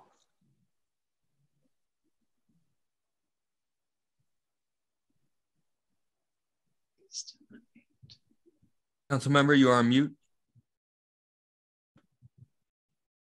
Can you hear me now? Yes. Thank you very much. Let me uh, thank and commend uh, Mr. Chair. Thank you so very much. And I want to thank also all the speakers for their testimonies. A lot of information. That's very wonderful. One of the things that I should uh, uh, mention, comment on, and we all agree that the hospital, they are doing a wonderful job. The doctors, the nurses, the medical professionals, they are doing a wonderful job saving people all the time in good time and bad time. And uh, uh, what I want to uh, comment on and also ask a question about is about the system used for the, the you know for the uh, to provide services to provide medical services. And you know that uh, medical services is is a is a, is an obligation of all of us you know hospital society government. And we got to make sure that we got a system funded to everybody everybody that everybody can use the system without having the consequences of not having, not uh, receiving, you know, the help that they are looking for, and also a system that won't create uh, challenges for them and put the, the financial situation in jeopardy, and even their families. So uh, we know that everything now should go through computers. We're using computers and we're using technology for everything. But the, there's a, there's a large number of people in our society in New York City. They are not computer li- literate. They are not in the technology that we are using. And those people, they are entitled to the same services that we as a society, as government, as country, we should provide. And uh, many times, many of them, they get to the hospital, they don't have a clue about the difference between the insurance, this insurance, and that insurance. They don't have a clue about the cost of the uh, procedures. They just go through, and after that, they end up going to uh, to uh, to situation. The credit uh, is messed up, and, all the other consequences. My question is, uh, what can we do? I think that's something. Before I ask the question, I think that we should do something. We should work together, hospital, insurance companies, government, to make sure that we provide informations and knowledge, education to those people who, can, who are not able, capable of using the system that we are using, computers and software technologies. Number one, what is in place and we can implement, I don't say recreate, because I know that we can do that.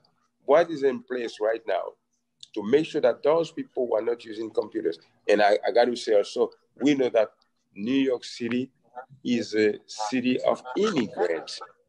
There are many people, they are immigrants. They're, you know, it's difficult for them to navigate through the system and navigate through the medical system is another big challenge for them.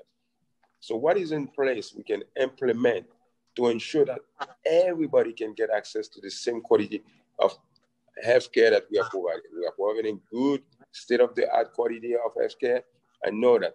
But what can we do to make sure we, we eliminate the health uh, inequity, the disparity that exists in health, using yes. probably other people, mentoring them, educating them, creating them promotion. What can we do if it doesn't exist already? That's an excellent question, uh, Councilmember Eugene.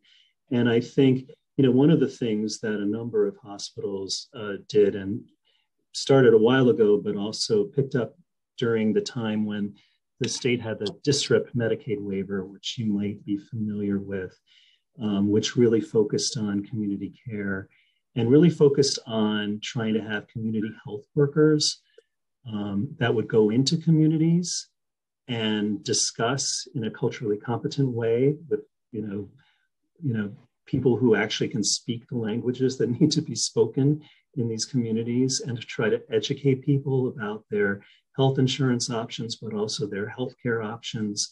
Um, we've done a lot of this with 1199 SEIU through the Healthcare Education Project, but certainly it's something that really needs to be focused on. I think the community health worker model is one that is extremely important in communities like the ones you're talking about, where people don't have computers, where they might not even have, you know, broadband that works very well, even if they do have computers, um, who really need to be met where they are Time where they live.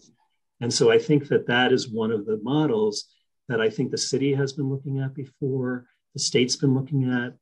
Some hospitals have funded through um, state funding and federal funding, but I think that's a model that should be um, looked at um, much more carefully and supported over time because otherwise, you're right, disparities won't be solved if we don't really reach these people where they live. Uh, with your permission, Mr. Chair, this is my last question.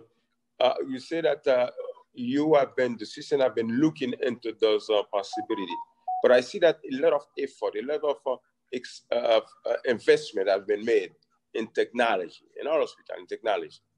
They really, that's remarkable, the effort that has been made, you know, to make sure that all the hospital, all the system use the technology. But I would appreciate if we can make the effort also to implement, to invest in education of the people. You mentioned the union, 1199, big union, doing a wonderful job. We can use those unions because they are powerful. They got the manpower and also other organizations to reach out to the communities, to reach out with those people. Because health, you know that. There's nothing is priceless. There's nothing more important than health of people. So we have to make sure we establish a system where everybody can have the, the, the, the, the exact the, the, the same access to the quality of uh, health that we are providing. And again, thank you so very much for your testimony. And Mr. Chair, thank you so very much. I don't know if you want to comment on my last, uh, you know, statement.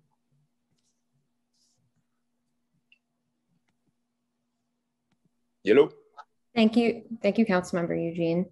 Um, so I will now again invite count, other council members to raise their hands if they have a question. Um, seeing none, I will now turn it over to Chair Rivera to close out the panel.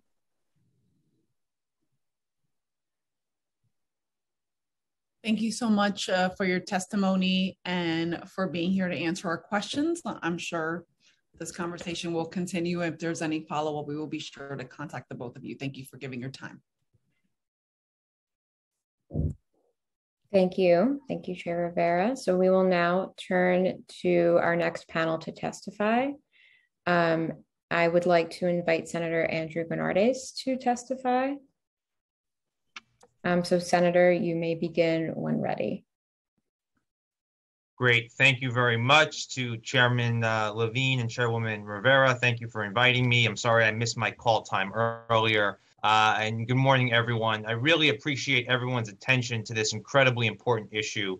Uh, and, I, and, I, do think it's important to start off by saying that the topic that we're talking about today is not meant to be, by any means, an attack on healthcare workers, doctors, nurses, healthcare staff, uh, or to diminish or belittle the work that they've done, not just over the last 18 months, but the role that they play in our society.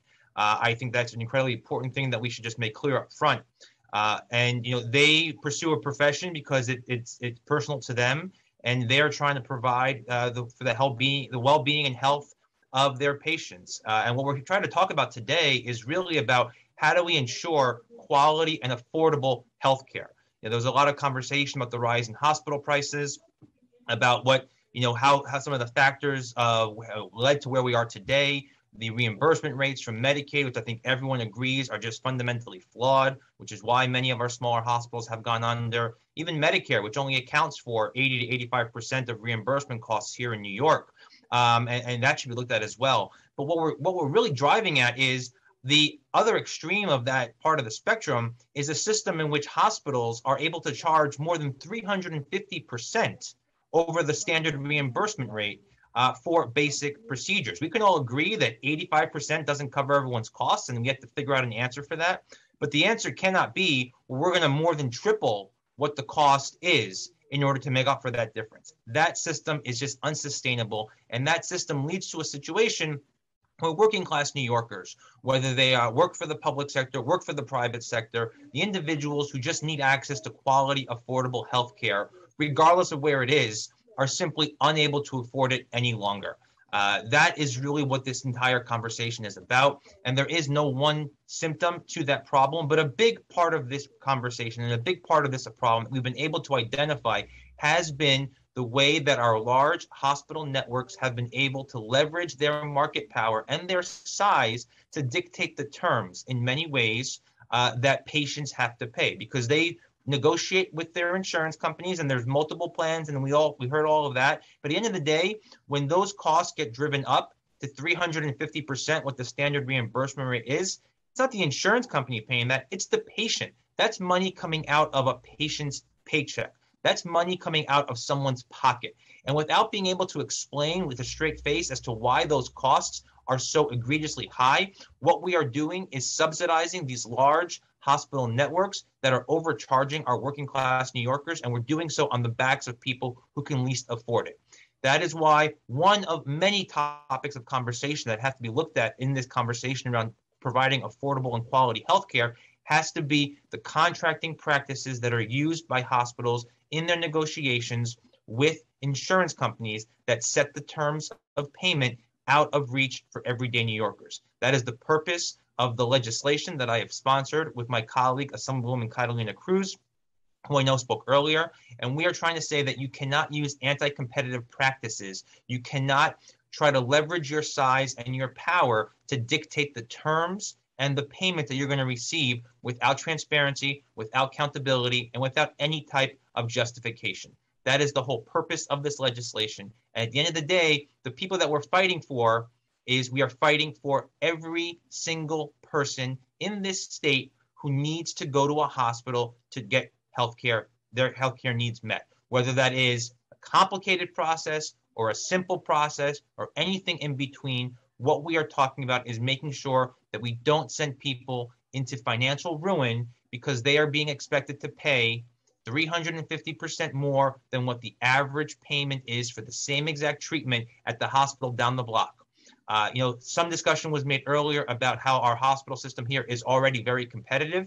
And I think the point was made in response to that that people don't shop around for their healthcare the way they do for their car or for their house. They go where their doctor is. They go with wherever they know to go, wherever their friend tells them, wherever their family tells them. They don't have the average patient does not have the ability to price shop to see where they should go get their colonoscopy, where they should go get their annual physical, where they should go for their x-ray. It's just not the way that people pursue or engage with the healthcare marketplace. So the, the analogy saying that this is already an overregulated and over-competitive market just doesn't apply, I think, in the everyday lived experiences of New Yorkers who are trying, again, just to get access to quality and affordable healthcare. So I really want to thank the council for shining a light on this issue today, for helping to tease out some of the nuances and some of the complexities and tech and and, and technical issues surrounding hospital billing practices. I think it's an important topic that needs to be continued to discuss, uh, and we will certainly take whatever feedback we're able to learn from today's hearing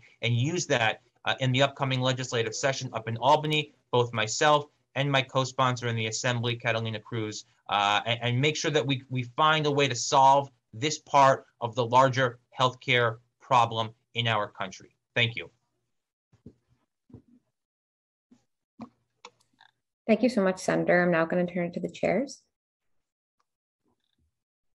Chair Levine. Well, just briefly, I want to thank you, Senator Gounardes and uh, Assemblymember Cruz for speaking today, for leading on this. The problem is so big, it's so complicated. We need action at all levels of government. We need federal, state, and local action. And um, really happy to be partnering with, with you and Assemblymember Cruz and appreciate you both appearing today. Thank you so much. Thank you. And just wanted to also thank the senator for his leadership. And we absolutely agree with you and are thankful to all of the healthcare workers, executives, administrative staff. And, and so thank you for what you're doing in Albany. Thank you all. Thank you, Senator, and thank you, chairs. We will now turn to our next panel. So I would like to welcome Kyle Bragg to testify. Following Kyle Bragg, we will hear from Cora Opsahl, Jeffrey Sorkin, Rennie Cassiano, and Jimmy Brennan. Um, Kyle Bragg, you may begin when ready and once the sergeant cues you. Thank you. Good morning to our co-chairs, uh, uh, Councilwoman Carlina Rivera and uh, Councilman Mark Levine. I want to thank uh, co-sponsors of HEAL, uh, Assemblywoman Catalina Cruz and uh, Senator uh, Andrew Gounardes uh, for their work in this very important matter. Like Senator uh, I want to also open up by saying that be very clear that our dispute, this fight, if you will have it, uh, it's not with our brothers and sisters, 1199, DC 37, NYSNA, the interns and residents, or all the other valued healthcare professionals and workers who provide, you know, uh, heroic service uh, every day uh, during the course of this pandemic and long before this pandemic. Be very clear that our issue was with those who are responsible for setting pricing for the procedures that are grossly vary across hospital systems. So good morning. My name is Kyle Bragg, and I'm the president of SEIU 32BJ. And as you know, 32BJ SEIU is the largest property service workers union in the United States, representing over 90,000 hardworking New Yorkers who work as cleaners, property maintenance workers, doormen, security officers, window cleaners, building engineers, and school and food service workers. Our members keep New York running, and throughout the pandemic, many of us have continued to show up every day to ensure that our city could function. In doing so, we've lost over 150 of our members, good souls who dedicated themselves as essential workers to the service of the city. At the heart of our union's work has been winning the mark, maintaining high quality healthcare benefits for members, and the COVID 19 pandemic has only underscored how vital these benefits are for our workers and their families. These benefits include premium free family coverage, low copays, and a network of thousands of doctors that have real life changing impacts on the quality of life of our members. Unfortunately, these benefits are jeopardized by the skyrocketing New York hospital costs. Several years ago, our health fund and our union began looking at this issue because our health fund and many union health funds are self-insured. We pay all our members' bills for care, including the ever-rising hospital costs. Our fund has no profits or shareholders and no interest other than providing workers with the highest quality health care that they can afford. Empire Blue Cross uh, Blue Shield administers the 32BJ Health Funds Network, authorizes our medical care, and pays claims using members' money. The funds uh, pay Empire a flat administrative fee for their services, but the funds pay all medical claims. Every dollar spent on higher priced healthcare is a dollar that can be used to make other kinds of quality and affordable care available to funds participants, offers much needed wage increases and other benefits. Our health fund has analyzed our payment data, and what we found is truly shocking. To begin with, we found that the five major private hospital systems in New York City, New York Presbyterian, Montefiore, Time expired.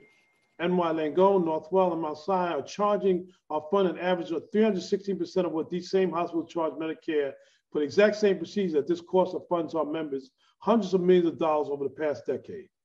In fact, our healthcare costs had simply risen at the same rate as inflation over the past decade. Our members could have received nearly 5,000 more in their pockets in wages this year without costing our employers a cent more than the current total compensation. For our hardworking members trying to raise families in an expensive city, this would make a world of difference. Second, we have found real extreme differences in what our health fund pays for the same care at, differential at different hospitals. The, the significant disparity in prices for the same care at different hospitals lacks rational justification. And we aren't talking about groundbreaking new procedures. For example, our health fund paid an average of 83,000 for hip replacement at New York Presbyterian, but an average of 58,000 other New York hospitals. Millions of dollars are being lost when hospitals overcharge us for care, and it has to stop. Before I go on, I want to make a few things clear.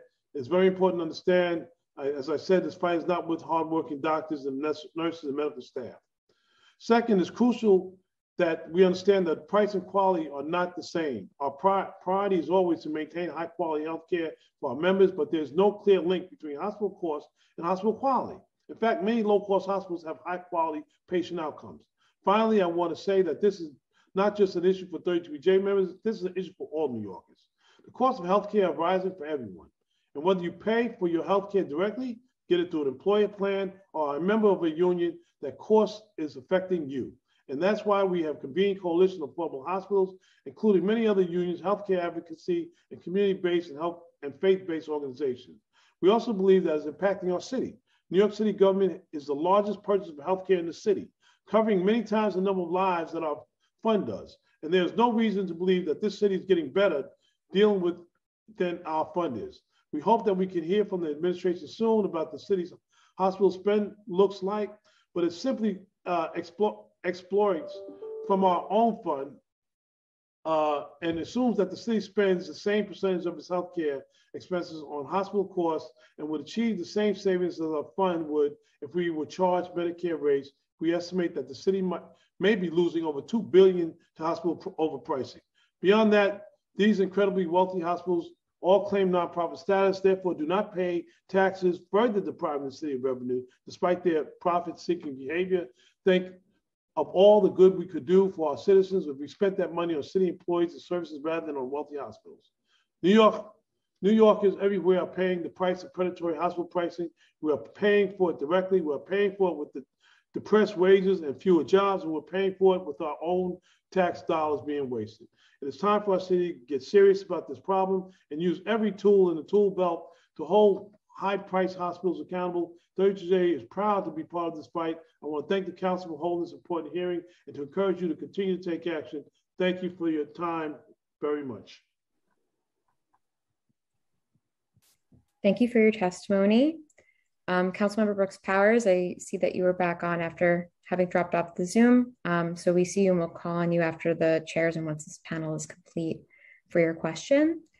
Um, and so we will continue with our panel now. I would like to call on um, Cora Opsahl to provide testimony. You may begin once you're unmuted and ready. Time starts now. Good morning. My name is Cora Opsahl, and I am the interim director of the 32BJ Health Fund. We provide comprehensive health benefits to union members of SEIU 32BJ and their eligible dependents. We cover approximately 100,000 li 190,000 lives in 11 states, with the bulk of our lives here in the New York City area. As a Taft-Hartley plan, our benefits are 100% funded by over 5,000 employers, some with thousands of employees and some with only one worker. We provide comprehensive health benefits to our participants with no participant premiums or deductibles and low copays. We are also a self-funded plan. This means all medical claims are paid by the 32BJ Health Fund. While we use an insurance company to administer our benefit, the cost of the care provided to our plan participants is paid by us. That means as hospital and medical costs go up, those costs are passed directly onto the 32BJ Health Fund. The 32BJ Health Fund receives all of our medical claims. This means we can see where our participants get care and how much it costs. This amount of data has allowed us to analyze our claims and know exactly how we are spending our healthcare dollars. For example, in 2019, the 32BJ Health Fund spent $929 million on all of our health benefits, including medical, prescription drugs, vision, dental, and other ancillary benefits. Of that $929 million, 82% of the benefit dollars, or 743 million, were spent on hospitals, doctors, and medical staff. Of that $743 million, 68% of the costs, or 505 million, were for hospital costs alone. That means hospital costs made up 50% of our total spending in 2019. Hospital prices are the number one driver of, of costs in healthcare, not just for us, but for the entire healthcare industry. Over the past decade, premiums and deductibles have outpaced wages. That means healthcare not only got more expensive, but it costs more for patients and plans like ours. As we look at healthcare costs, Medicare prices provide a good benchmark for comparison of commercial prices or prices paid by self-funded plans like us. We use our own claim data and analyze what we would have paid had we paid Medicare prices for hospital services here in New York City. We looked at our data from 2016 through 2019 and determined that the prices charged for hospital service provided to our participants were 240% higher than what Medicare charged for the same set of services. What that means is, had we paid Medicare prices instead of the high prices charged by hospitals, we would have spent 58% less during that time period. Additionally, we were able to see the high variation between hospital systems within the city. Looking at just the private hospital systems in New York City, their prices paid by the fund are 316% higher than Medicare prices. Time expired. To understand what that means in real dollars, let's look at two common procedures, colonoscopies and vaginal births. For a standard colonoscopy, the average amount we paid the highest price hospital in 2018 and 19 was $9,598. At the same hospital, Medicare would have reimbursed $1,043. That is 9.2 times the amount Medicare paid for the same routine procedure. Looking at the same time period for a vaginal birth, we paid the most expensive hospital an average of $24,810. Medicare would have paid the, the hospital $9,149 or 2.71 times less than what we paid. Setting Medicare aside, comparing what we paid for a colonoscopy and a vaginal birth in a more expensive hospital system to what we paid on average to the rest of the hospital systems in New York City, the difference is still staggering. For a colonoscopy, we paid approximately $9,000 at the more expensive system, while we paid an average of $4,000 at other less expensive hospital systems. For a vaginal birth, the costs averaged $24,000 versus $20,000 elsewhere. There is no reason the cost variation should be so high for these procedures. A common justification given for the higher cost is that cost equals quality. However, that is untrue. A 2018 RAND study looked at the correlation between hospital costs and quality. They compared low, medium, and high cost hospitals based on their prices in comparison to Medicare, and then looked at the quality data. The results are clear. Higher cost hospitals do not have better quality scores than those that are medium or low cost. We've also seen this in our own maternity and joint replacement programs. Quality is not dependent on the price charged by the hospital. Lastly, it's important to comment on the anti-competitive nature of the contracts, contracts between hospital systems and insurers.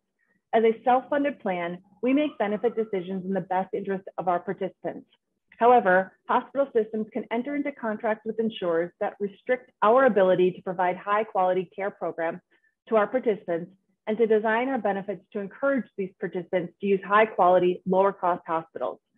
For example, the 32BJ Fund offers a maternity program for our participants where they can have a baby for a $0 copay if they use one of our high quality partner hospitals.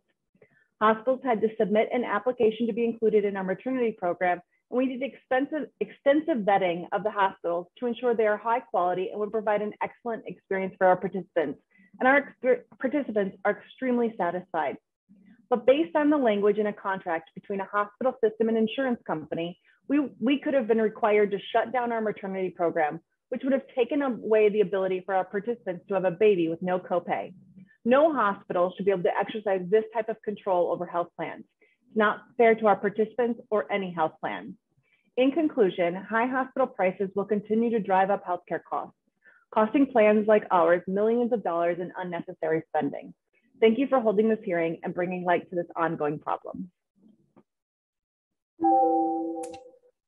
Thank you for your testimony. Um, we will now turn to our next panelist.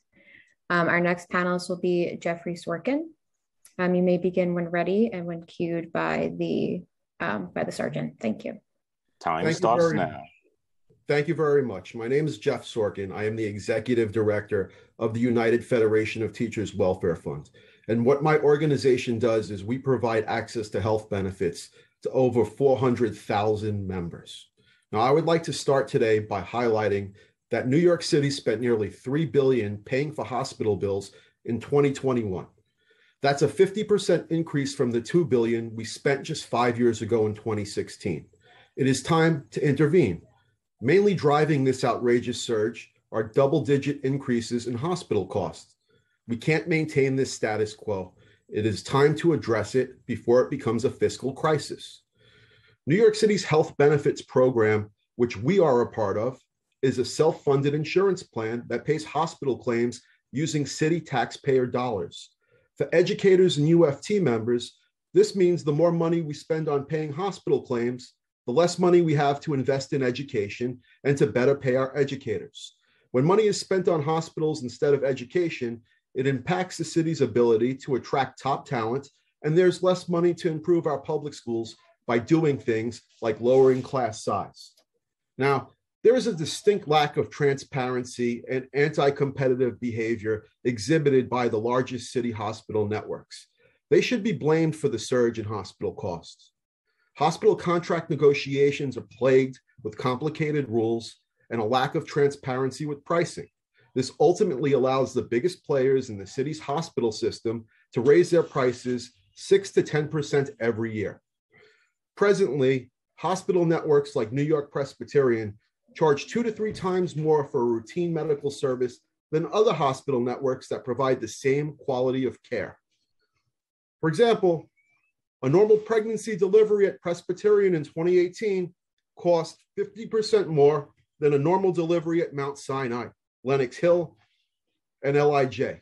Along the same lines, a hip replacement at Presbyterian cost $83,000, while others charge $58,000.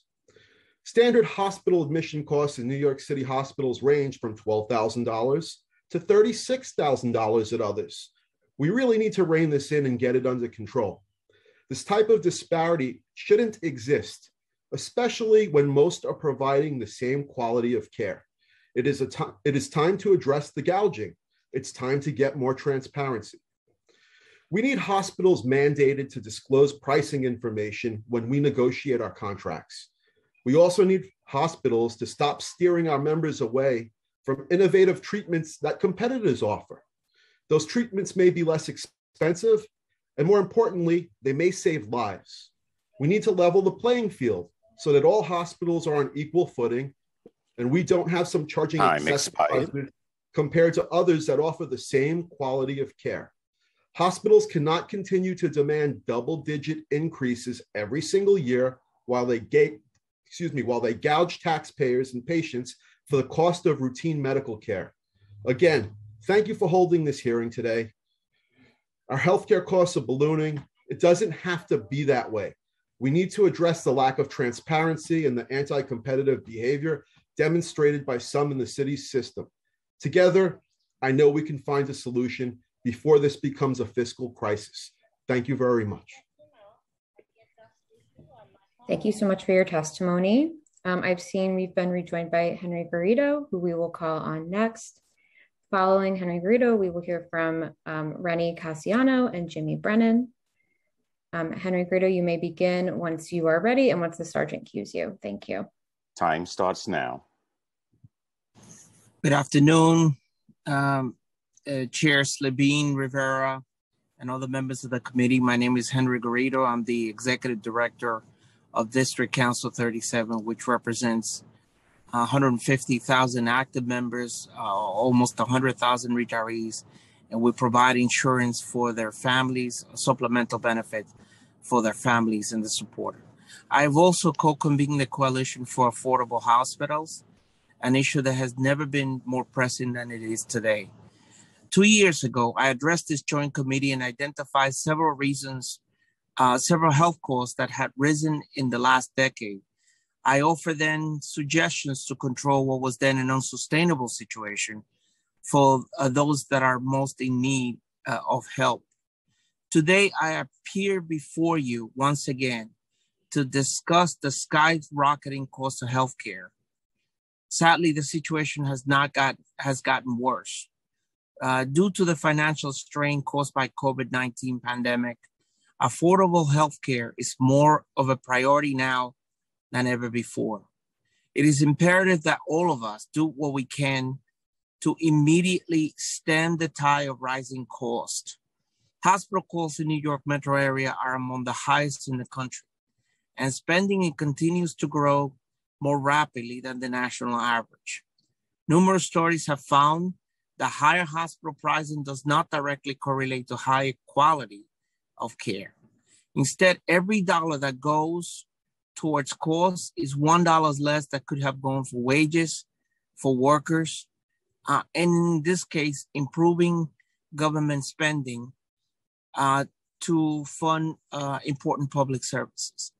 To put a finer point on it, the fiscal year 2022 is projected that the city will spend $6.9 billion on healthcare. Um, that does not include supplemental benefits. Um, of that, 58% is going to hospital spending alone. Currently, we charge 200% over Medicare. Uh, if we were to charge rates, Medicare rates, the city would save $2.4 billion.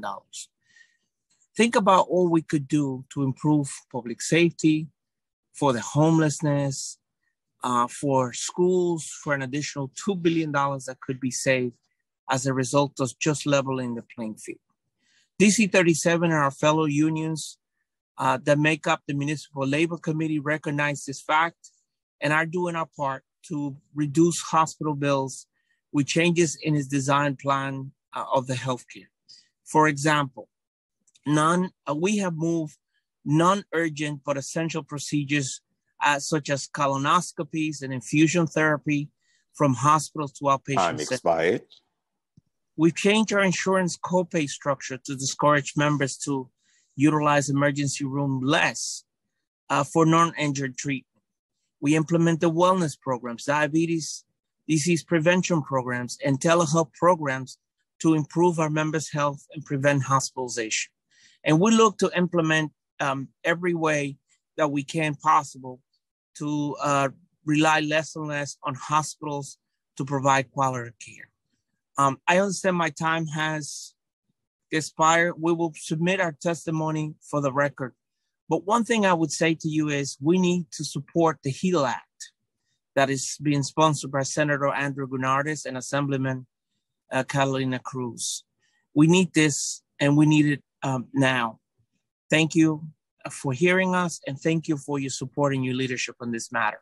We will submit written testimony for the record. Thank you, uh, chairs. Thank you.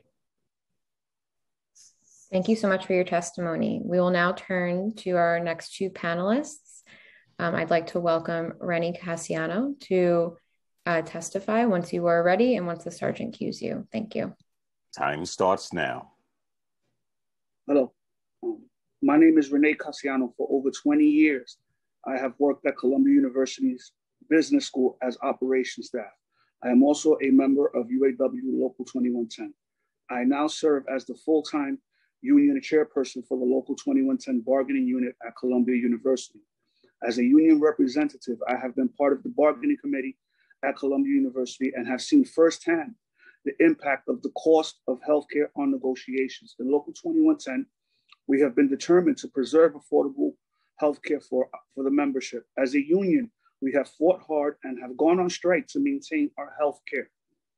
As a member of Local 2110, I'm very proud of these fights that our members mounted, but it is wrong that our members are forced to go through the hardship and sacrifice of a strike simply to maintain what should be the absolute right of every human being high quality healthcare for themselves and their families. Even when we haven't had to strike to keep our healthcare, the university takes the position that because of the cost of healthcare, we have to take less in wages. Every time we go into, into negotiations with the university, the cost of healthcare hangs over our heads and affects our overall settlement. Our members have to choose between trying to keep affordable healthcare and having less money to survive in this expensive city where the cost of rent and transportation is so high. Columbia is a very rich employer with 10 with a $10 billion endowment, yet it uses the excuse of the cost of its health care to force the lowest paid workers to take less, either through accepting a worse health a worse health plan or lower wages. I am lucky enough I am lucky enough to have a union job that at least gives me the opportunity as a worker to have a seat at the table. What about the workers who don't have unions and work for employers that don't have such deep pockets? We ask the city council to do everything possible to, to take the profiteering out of healthcare.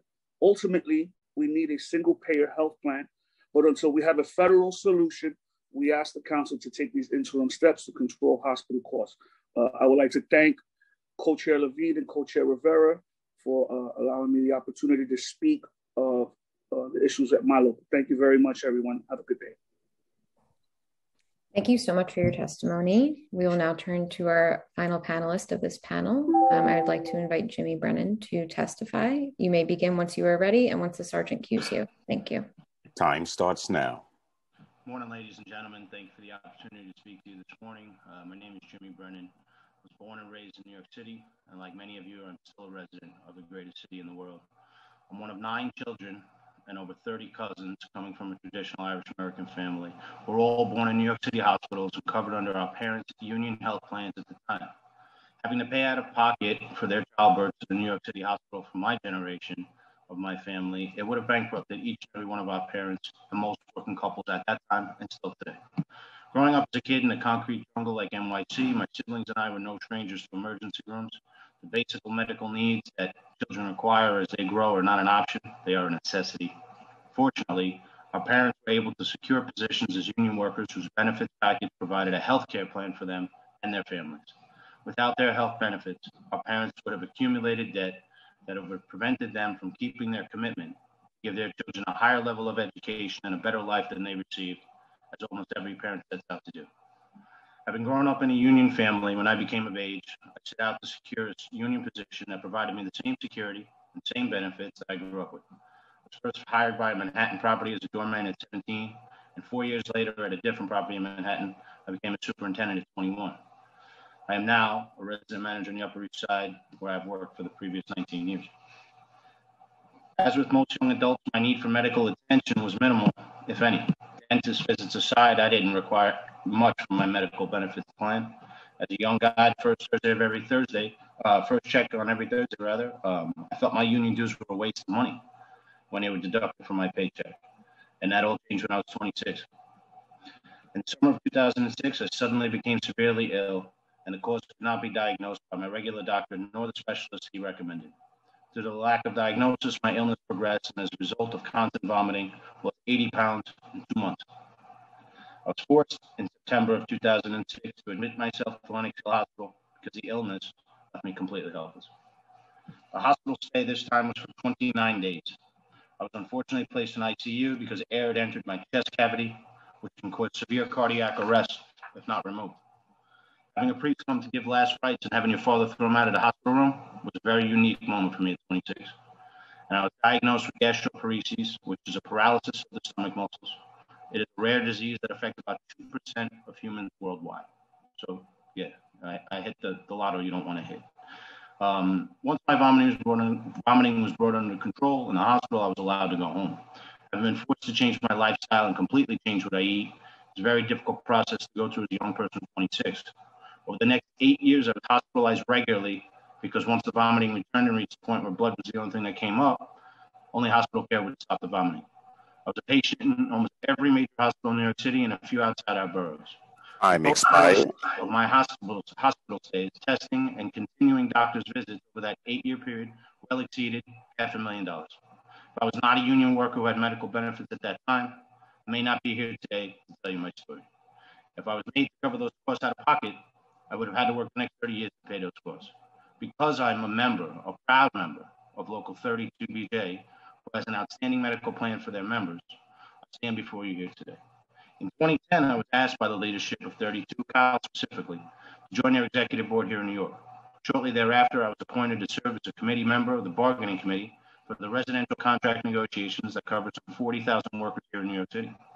I was able to see firsthand how difficult our leadership works during every negotiation just to maintain the benefits that we already had secured.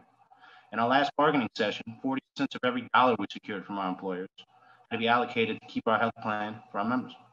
Given the cost of living in our city, we strive to secure increases in our contract and keep up with the cost of living.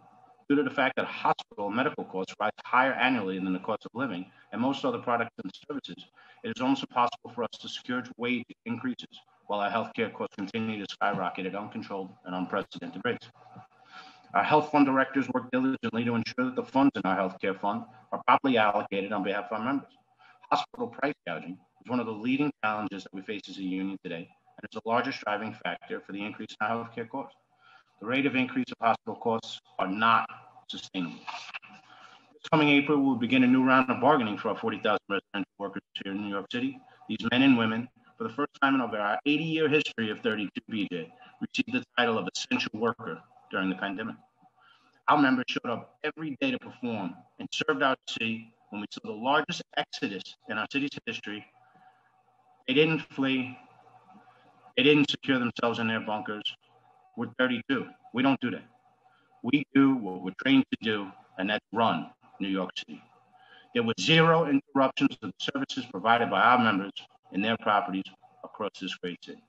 The building service industry had one of the highest death rates during the peak of the pandemic. Due to the pandemic, the importance of maintaining our quality healthcare has never been more of a priority for our leadership. Now, more than ever, we must stand together as one to fight against hospital price, price gouging, maintain our health benefits, and thus our quality of life so that we continue to serve this great city as we have for the last 80 years and for the next 80 to come. Thank you for this opportunity. Thank you so much for your testimony. Um, we will now turn to the chairs for questions. I'm first going to turn to Chair Rivera. Sure. Thank you so much for being here. Just a, a couple general questions. Some of it was touched upon in your testimony. And again, I want to thank you all for your time and your patience and, and staying um, uh, to share your words and some of the experiences of your members, direct experiences, clearly. But what have your members' experiences been like with seeking care within New York City hospitals? And what more can the city do to ensure affordability across our hospital systems? I know they're fairly different questions, but if I could just pose that to the panel of anyone who'd like to weigh in. What have your members' experiences been like uh, with seeking care within New York City hospitals? And what more can the city do to ensure affordability across our hospital systems? Um, thank you uh, for that question, uh, Councilwoman. Uh, first, I, you know, our members are receiving uh, good and quality care uh, in the hospital systems in New York City. That's not what's at issue here. What's at issue is them receiving the quality care uh, from these healthcare professionals, but us having to pay this outrageous cost through the pricing, which is totally subjective uh, you know, you know, we the healthcare professionals that provide the care to our members are, again providing excellent care to our members. The problem is that it shouldn't vary across hospital systems. We shouldn't have to pay uh, double the amount for a procedure at, from from one hospital to another. It just doesn't add up. I've heard them talk about uh, operational costs, but it or, or, whether you're a teaching hospital, there are teaching hospitals and the and the pricing uh, that exists for procedures just don't equate, you know, to to the to, to that to that explanation. So um, I think that what the city can do is to continue to push back against uh, what is happening uh, through, through these hospital systems about this uh, unfair and unjust and very subjective pricing uh, uh, uh, policies and procedures, and because the dollars that they spend, which I think is somewhere near seven billion, and if, and if his relation to uh, to our health fund spend, it'd be half of that is is coming from hospital uh, uh, uh, prices, and so that's money that can be going back into the coffers of our city and going back into the, the pockets of workers uh, of this city.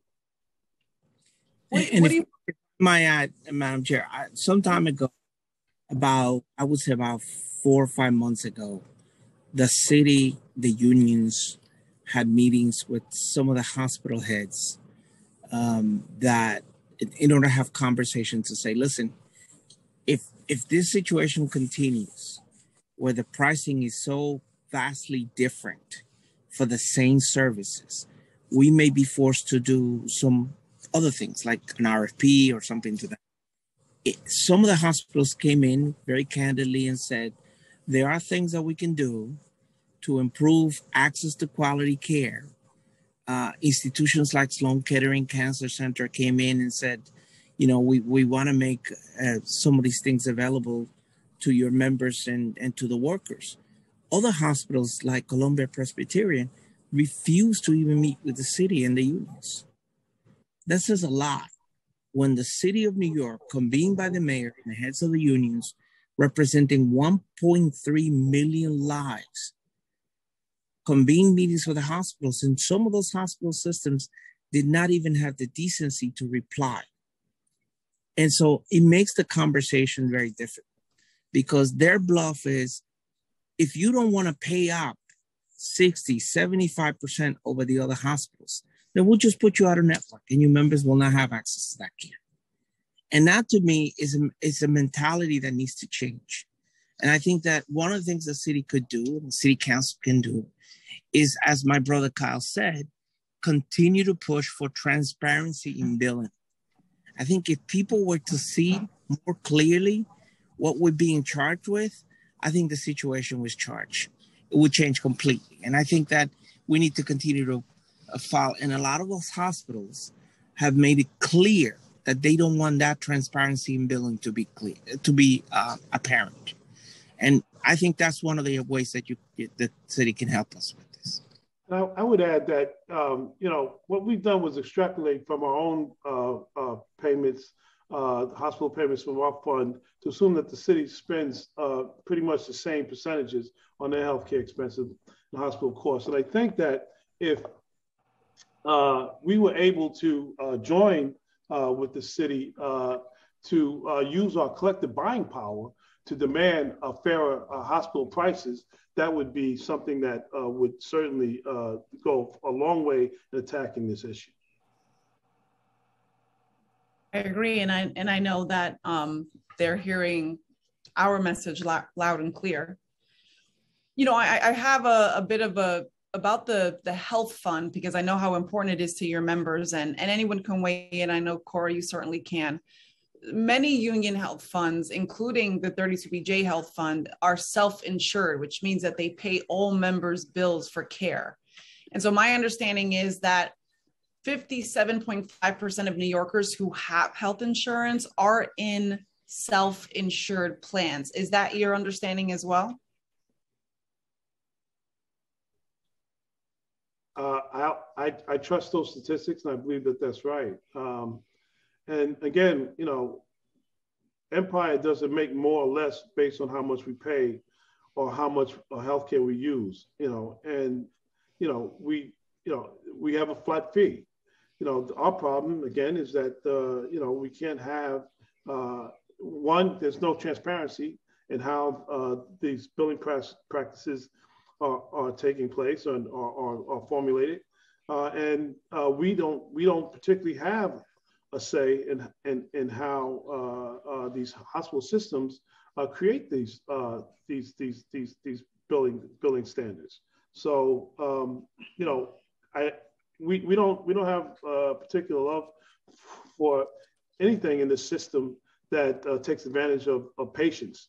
Uh, but we, we, believe that there is a serious problem uh, in that this hospital pricing is, is, is so out of whack and, and varies across the systems for the same procedures that this this has that, that has something has to be done about this. And we believe that uh, uniting with uh, those other private funds and with the city uh, using all our collective buying power can can deal with this uh, uh, issue so when Empire's acting as your third party administrator, they, they don't make a profit based on the cost or level of utilization of those healthcare services. That's correct. I would I would say that's I wouldn't say that's correct. I, I, I wouldn't say that they don't make a profit, but what I would say is that we get to negotiate with uh, Blue Cross and Blue Shield what we pay, pay them to provide the service that they provide to us. What we don't get to do is negotiate with the hospitals about you know the their, their pricing practices and you know how it varies across hospital systems. It's just ridiculous that you can go to uh, two hospitals within, as I think uh, Councilman Levine had stated, within the same borough, within a amount of miles of each other, and you pay thousands of dollars more for one procedure than you pay for another, and you and it, it just doesn't add up. It doesn't make sense. They they they they have the same operational costs.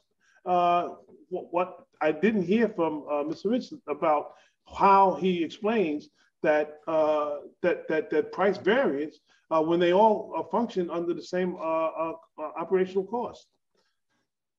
Oh, correct. And I think that's, you know, those are those are the the big questions that we have is that you could have hospitals that are literally blocks away from each other and the disparities are are wild. So I, I want to just thank you all for being here, for answering my questions. I'll turn it over to, to my co-chair to see if he has uh, any follow-up questions for this uh, esteemed panel. Thank you so much, Chair Rivera, and thank you to this panel. Uh, Executive Director Garrido, you brought up a point which uh, is so critical that I don't know if the public realizes that this crisis of, of pricing in hospitals directly impacts city government. It impacts our budget. It impacts the resources we have for all sorts of vital programs to deal with challenges in this city that, that you enumerated from education to housing, et cetera. Um, and you said a couple numbers that were just incredibly big that I, I want you just to repeat because they're so important. But um, you said that if hospital pricing simply was in line with what is paid for Medicare, it would save uh, literally billions of dollars. Could you just clarify that point? Yeah, I mean, we could save over two billion dollars in just by leveling the playing field and and if we were to tie or index the cost of Medicare.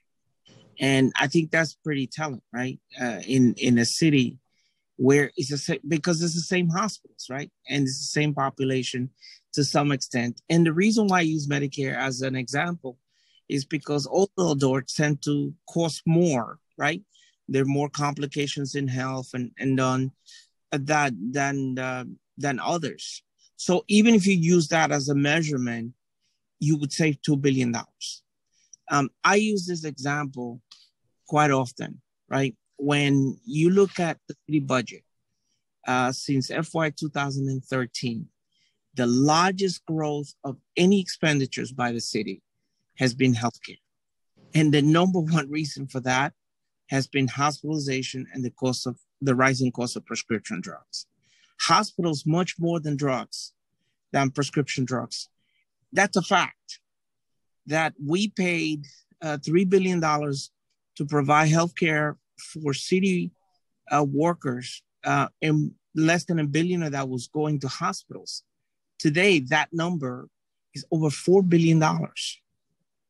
And in the matter of, of, of you know, a few years, the cost doesn't seem to be associated with any major you know real estate expansion and booming because it's the same properties right? The cost doesn't seem to be associated with index with wages and increases of the workers. It's pure price gouging.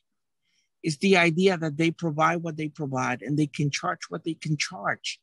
And we have the option to either pay up or be out of network and that's incredibly unfair to the, the city workers, to the, the working people who have for years maintained those very hospitals, even when some of the question, the quality the delivery was questioned. And so I think that we are at a point that if we continue to do this, we're going to collapse the health insurance benefit. Right? There's all this discussion about Medicaid and Medicare Advantage and everything else. Guess what? The hospitals are one of the primary reasons why the cost of healthcare is threatening to undo the benefits that those people fought so hard to get. Exactly. And as we said here throughout the hearing, uh, the US is spending far more in healthcare than any other peer nation, but we're not getting more healthcare out of it. We're not getting better health outcomes out of it. We're just overpaying. And that, that unfortunately is true in New York. Um, we've talked about how that that hospital pricing is so opaque that it's it's hard to even uh, get a fix on on just how wide the dispar- disparities are for the same procedure in different hospitals, though we know it's, it's significant. And for that reason, the work that, that 32BJ has done is really important. You all have put some, some brain power and even data analytics in to try and get a better fix, uh, comparing procedure to procedure, hospital to hospital. And you've come up with some pretty incredible examples. But I have to say that the example, and, and I don't know if President Bragg, we should cue Cora on this, but the example that you all have come up with with differential in uh, maternity costs for uh, traditional births is pretty shocking. Uh, so maybe Cora, because I, I, think you probably have done a lot of research on this. Could you just illuminate that again? What is happening with the price disparity disparity on um, those birthing procedures? Sure. So we'll just use a, a simple vaginal birth, or you know, as our, our example. What we found is in 2019, the average that we were paying in 2018 and 2019 for our highest price hospital was $24,000. And our low, and but what we paid on average, all the rest of the hospitals was $20,000. Our most recent statistics, when we start to look at it, it actually the cost difference is closer to $28,000 to $20,000. So when we really start to look at this, is these higher priced hospitals are just continuing to charge more and more than what you know their their uh, that their partner hospitals um, are charging. It, it, it is so painful to hear that even a, in a procedure like that, uh, there's such profound disparity. Uh, and we know it impacts workers, it impacts unions, it impacts ultimately city government uh, in, in, really negative ways. Um, I, I, know that we have uh, Councilmember uh, Brooks Powers waiting patiently to ask a question. So I'm gonna I'm gonna stop there. But I want to thank this panel for raising the alarm on this issue, uh, for the work you've done uh, to build uh, the case here, and for your advocacy and leadership. Um, we're, we're, proud to stand with you uh, in this fight. Thank you. Thank you. And I, I, guess I'll pass it to Em if you want to cue uh, Councilmember Brooks Powers. Thanks. Thanks, chairs. Um, so as a reminder for council members, um, you can use the Zoom raise hand function if you have questions, and I'm going to turn it now to Councilmember Brooks Powers. Time starts now.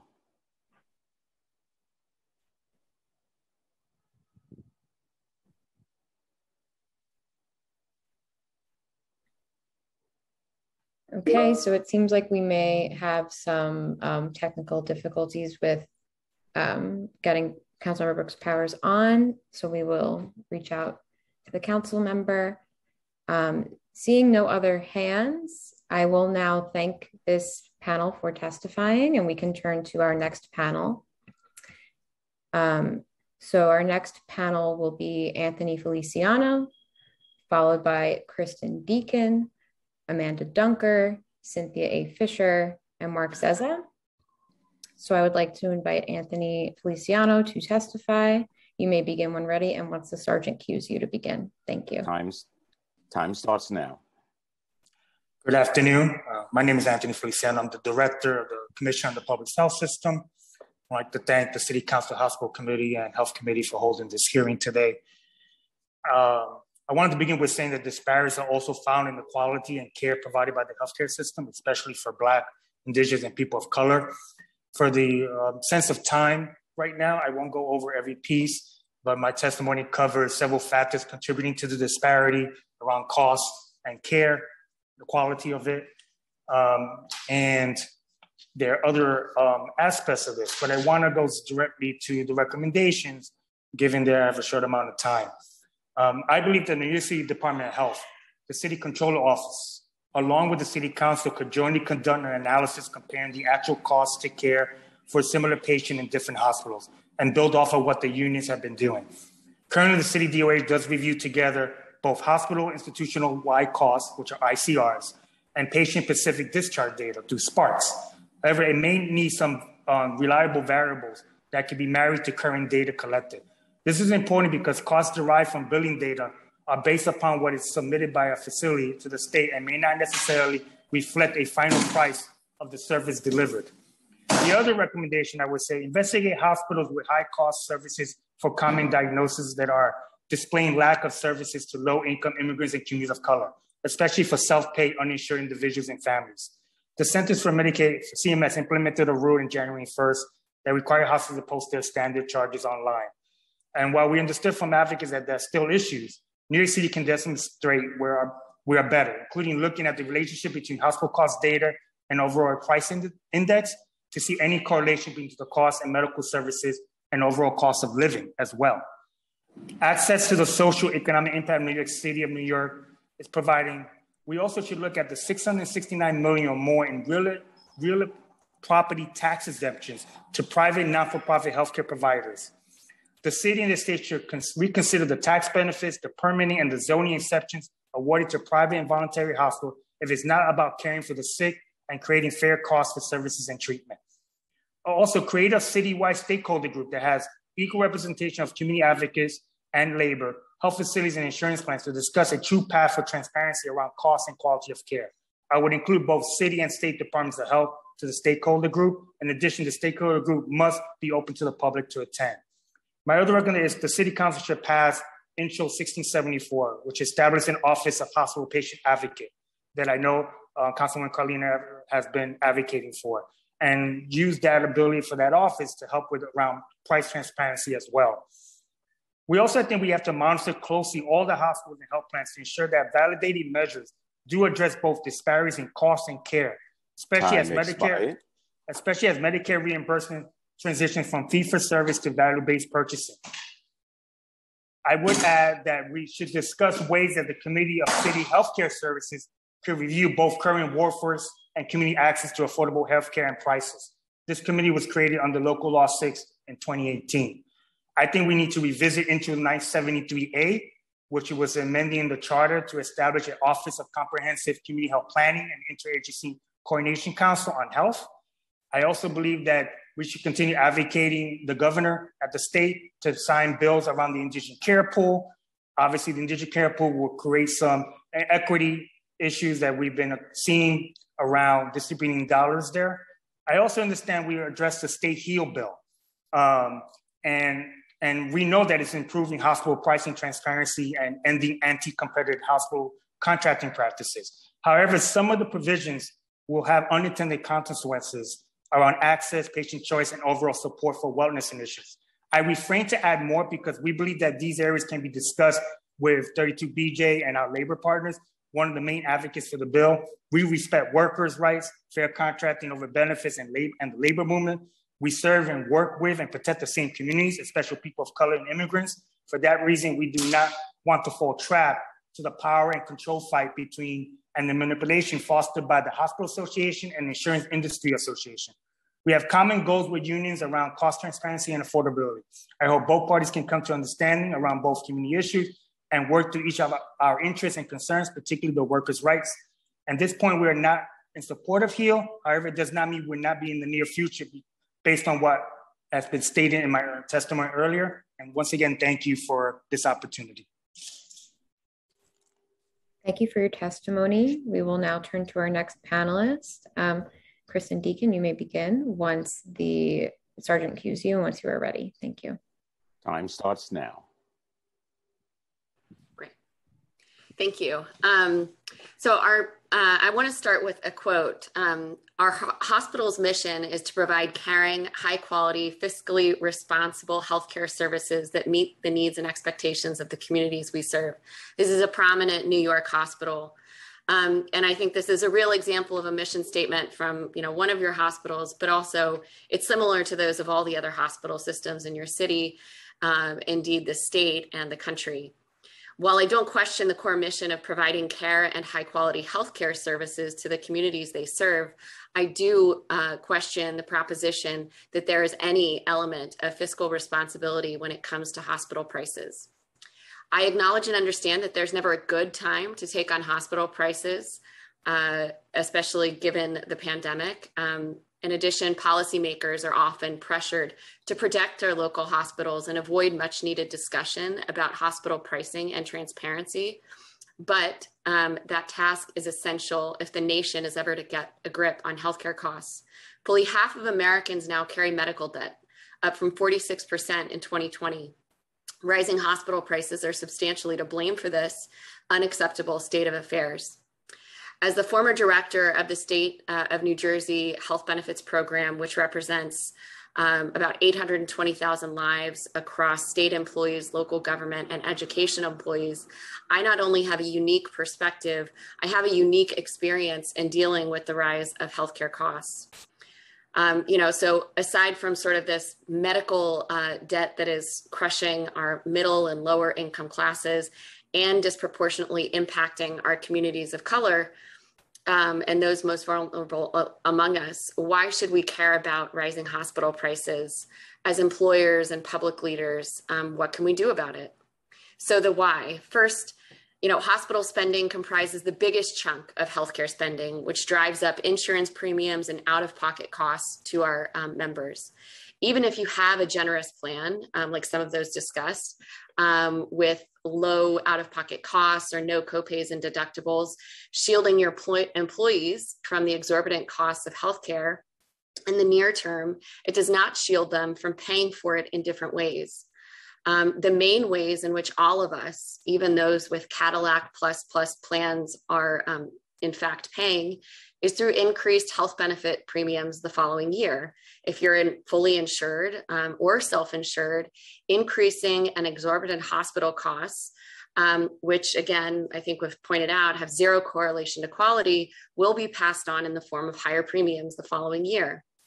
Um, some public sector unions or groups, like some of the ones I worked with in the state of New Jersey, pay a, a percentage of their salary for health benefits contributions. So they felt that they were expired protected. Um, you know, wrong again. If increasing hospital costs lead to a net increase in healthcare expenditures for your employer, there will be invariable, invariably less money um, for compensation and raises, pension funding, et cetera.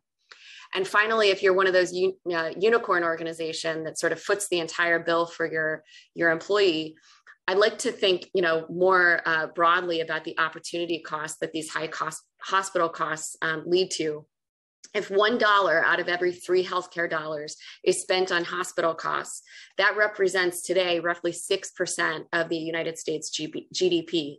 We spend less than 4% on education, less than 1% dealing and preparing uh, for climate change disasters, and less than 2.5% on infrastructure, um, and a percentage too small to even quantify on food insecurity. Are we getting better health outcomes? No. Is hospital care improving our health as a nation? No. Um, I think it's important to sort of talk about the narrative as well um, that we heard this morning. Um, you know, there are hospital executives that will take issue with this position and have on the record. And I've heard the plethora of reasons why, quote, hospital prices continue to rise. And, and they go something like this um, public payers like Medicare and Medicaid underpay. Um, false. Medicare and Medicaid rates are not enough to sustain our business model. False. Um, we know that commercial Medicare, commercial payers reimburse hospitals two and a half times more than Medicare on average. Yet, according to MedPAC, the Congressional Advisory Commission that sets reimbursement rates with multiple stake- stakeholders' input, including the hospital systems, Medicare payments are structured to cover 8% more than hospitals' allowed variable costs. Perhaps 8% is too narrow of a margin, but is 250 to 400% really necessary? Another common theme oh, but charity care. Uh, nope, again, not buying it see the statistic above on medical debt. And in addition, it's actually pretty easy to learn about a hospital's case mix from their public CMS filings. And I have personally challenged this narrative um, with hospital CEOs in New Jersey when they cried charity care at a cost control advisory meeting. After pointing out that this particular institution's charity care as a percentage of case mix was under 2%, I pointed out that their 32% profit margin could more than adequately absorb these costs without charging the state health plan um, uh, multiples of CMS for services provided. An analysis by Politico has found that since the Affordable Care Act coverage expansion, revenue in the top seven nonprofit, nonprofit hospital systems um, increased by 15%, while charity care, um, the most tangible aspect of community benefit, has decreased 35%. Another theme you will hear is O, our community impact. We cannot rubber stamp this category either. Um, fountains and glass atrium are not positive community impact, nor should a hospital's acceptance of Medicaid patients um, constitute community benefit either. Uh, while there are legitimate ways in which hospitals can and do give back to the communities they serve, the local community that is footing the bill and the hospital's tax break um, must have a say uh, in how that money is spent. Now, I'm going to quickly give you some very specific statistics to back up some of my claims taken from your very own hospitals in New York City based on their own public filings with the Center for Medicaid and Medicare Services. Net profit margins range in, from New York City Health and Hospital System from a negative 12% profit margin to New York Pro Presbyterian topping out at 19% profit margin. Net assets range from a negative from some systems to, um, on average, most in the hundreds of millions sitting on assets, to the higher side of Mount Sinai sitting on almost uh, 2.5 billion, NYU Langone over 3 billion, and New York Presbyterian sitting on assets of over $8 billion. With the exception of three hospitals in New York City, all had less than a 1% charity care case mix while at the same time, a majority of these hospitals are charging multiples of the CMS rate, one in particular averaging over 380% of CMS for all inpatient and outpatient services. There is no amount, um, put simply, of charity, care, community impact that could justify such exorbitant costs that are borne by the city's taxpayers, employers, and employee residents. There's no obvious check to balance out the increasingly one sided market that health benefits uh, health uh, that benefits from higher healthcare and hospital prices.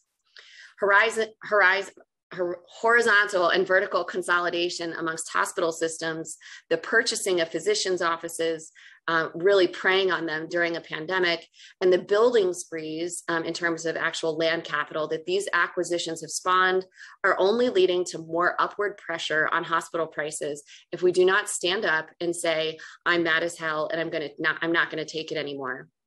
So now that we've spent most of my time talking about why it matters, um, sort of the easy part, now what can we do about it? Demand full transparency. The federal government has tried uh, through rulemaking to force hospitals to be more transparent with their prices, but due to meager enforcement and a lack of willingness of the hospitals to comply, we are left with little meaningful information. We must demand transparency through your self funded contracts, um, through uh, your purchasing clout and in law and regulation that you may control. You pay for it, demand to know the prices. Um, recognize that you have the buying power, buying power and use it. Self-funded payers have the market power to demand lower costs. The city of New York is the largest health purchaser in the city. The train, the train will only keep running away if we stand idly by and watch it and a hospital if a hospital is charging exorbitant fees remove it from your network. Save your employees and your bottom line from these predatory practices. Um, i recognize my time is long past so I, I will stop and i am going to have to step away at one o'clock. Thank you so much for your testimony. We will now turn to amanda dunker. Amanda you may begin once you are ready and once the sergeant cues you. Thank you. Time starts now you. Um, I'm Amanda Dunker. I'm the Health Policy Director at the Community Service Society of New York, which is a 175 year old charity um, in the city that advocates for, for low and moderate income New Yorkers. Um, before I start, I would like to recognize the extraordinary sacrifices that frontline hospital workers of all kinds have made during the pandemic. We're aware of those sacrifices, and, and as New Yorkers, we are so grateful for them. Um, the health programs at CSS serve 130,000 people every year. Um, and what we do is help people enroll in health insurance and then use it to access and afford health care. The people we serve have every type of insurance public, private, fully funded, self funded, and we also um, help people who don't have insurance. What we know from that work is that patients in New York are stuck in the middle of a battle between titans. So, insurers on one side and hospitals on the other, and patients in the middle. Our written testimony describes the consequences of that for patients and the disparities the system produces. Patients don't get care they need, they end up being put in collections, and they're even sued by the thousands by hospitals in New York, even though all of those hospitals are nonprofit charities. In a survey we did in 2019, New Yorkers blamed hospitals and insurers equally for their plight, and 69% said that hospitals charge too much. In that, they are correct. Inpatient prices in New York State are 241% of Medicare prices on average, which is the highest in the entire country. New York City doesn't have authority or control over a lot of the factors that contribute to those high prices or the fact that, that patients are sort of stuck in the middle between these two big players. Um, a lot of the solutions that we endorse have to occur at the state level. So, for example, during the 1990s, New York State abandoned a statewide system of rate setting um, and health planning. Um, and that system had ensured that safety nets were receiving enough financial support to survive. When we lost that system, we lost a third of our bed capacity, and we are experiencing the consequences of that um, in terms of disparities in mortality rates during the pandemic. Um, the state could restore those systems. The state could look into strategies like Massachusetts health policy, health policy um, cost commission or Maryland's global payment system. And it could enact a single payer system like the New York Health Act. And CSS would endorse any of those approaches to controlling costs for patients. Um, respectfully, we don't we cannot endorse an approach taken like that in the, the HEAL Act, the legislation that others have mentioned today. Um, the HEAL Act is an attempt to adjust the balance between those titans, but we think and we're concerned that it does that in a way that might hurt patients. Um, its provisions could encourage those skinny, fragmented networks that are so difficult for patients to navigate. Um, and we feel that the price transparency provision in the Act does not go far enough because it would not increase price transparency for the public or the government. Um, we supported a policy last year as part of the Patient Medical Debt Protection Act that would have gone a lot further. Um, there are some steps that City Council could take. Um, as I said, all these hospitals are, are nonprofits. Uh, the city could investigate their tax exemptions and zoning rules as they apply to hospitals. Um, I, Anthony, I believe, mentioned the Office of Patient Advocate. We endorse that um, as a way to listen to patients and give patients a, way, a place to go when they're having these issues. Um, and finally, we think the council could augment funding for community-based organizations that help people enroll in health insurance and then make sure that they can use it afterwards. So programs like Access Health NYC um, and the Managed Care Consumer Assistance Program, we think are at least a way to help navigate, um, navigate the system until we take some of those bigger steps I described at the state level. Thank you. Thank you so much for your testimony. We are now going to turn to Cynthia A. Fisher, followed by Mark Zezza and uh, Raul uh, Rivera. So um, Cynthia A. Fisher, you may begin once you are ready and once the sergeant cues you. Time starts now. Thank you very much. It is an honor to uh, be here today uh, with the New York City Council members. And I thank you, Chairman Rivera, and also Chairman Levine uh, for the opportunity to speak. I am Cynthia Fisher. I am founder and chairman of Patient Rights Advocate.org.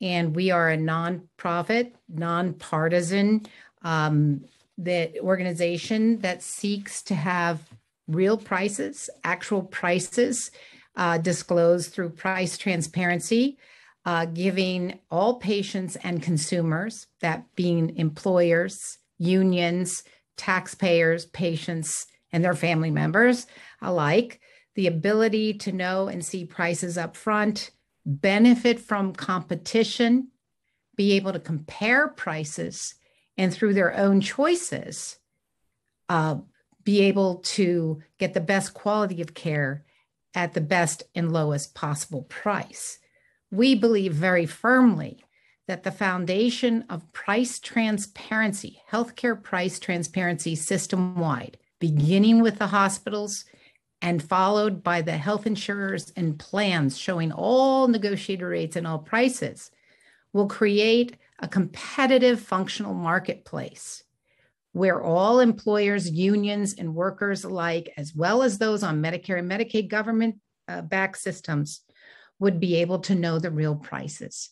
The beauty in price transparency is it will usher in quality transparency as well.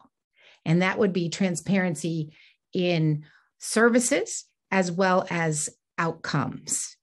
This is a huge win because price discovery will also usher in just what is the standard of care? What is the standard of care for a mammogram and what should it cost? And we spoke today earlier with Cora's data of the prices and standard of care for childbirth. What is the standard of care and what should it cost? Those answers will all be disclosed when we have a functional competitive marketplace in healthcare. Well, the great news is that we had the support of three presidents President Obama in the Affordable Care Act uh, also put into law patients having the right to know upfront all charges in healthcare. That Affordable Care Act law was put into rule of law during the Trump administration and now embraced by the Biden administration. And in fact, because the hospitals have not been complying with this law, President Biden has put in place an anti competitive practices organization to look at anti competitive behavior of the hospitals and for not complying, raise the penalties. Um, however, Time we at patient we at patientrightsadvocate.org in July did a report on 500 random hospitals in this country and looked at the compliance of these new laws. Remember, the American Hospital Association and hospital associations like Mr. Rich's all got behind the lawsuit to keep patients in the dark. They sued to not have this law be enacted and in place in rule of law, to keep patients in the dark, blind to no prices, enabled to surprise with large, outrageous, sometimes overpriced medical bills, being blind, blindsided, and then making every patient, whether they have coverage or not coverage or various coverage, pay with a blank check. Well, this is game over because the American consumers won in the courts.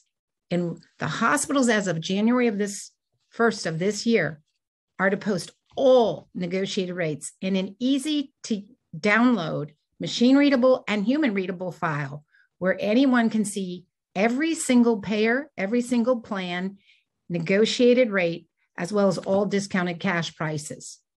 And cash prices are oftentimes even lower than the negotiated rates because the hospital gets its money up front.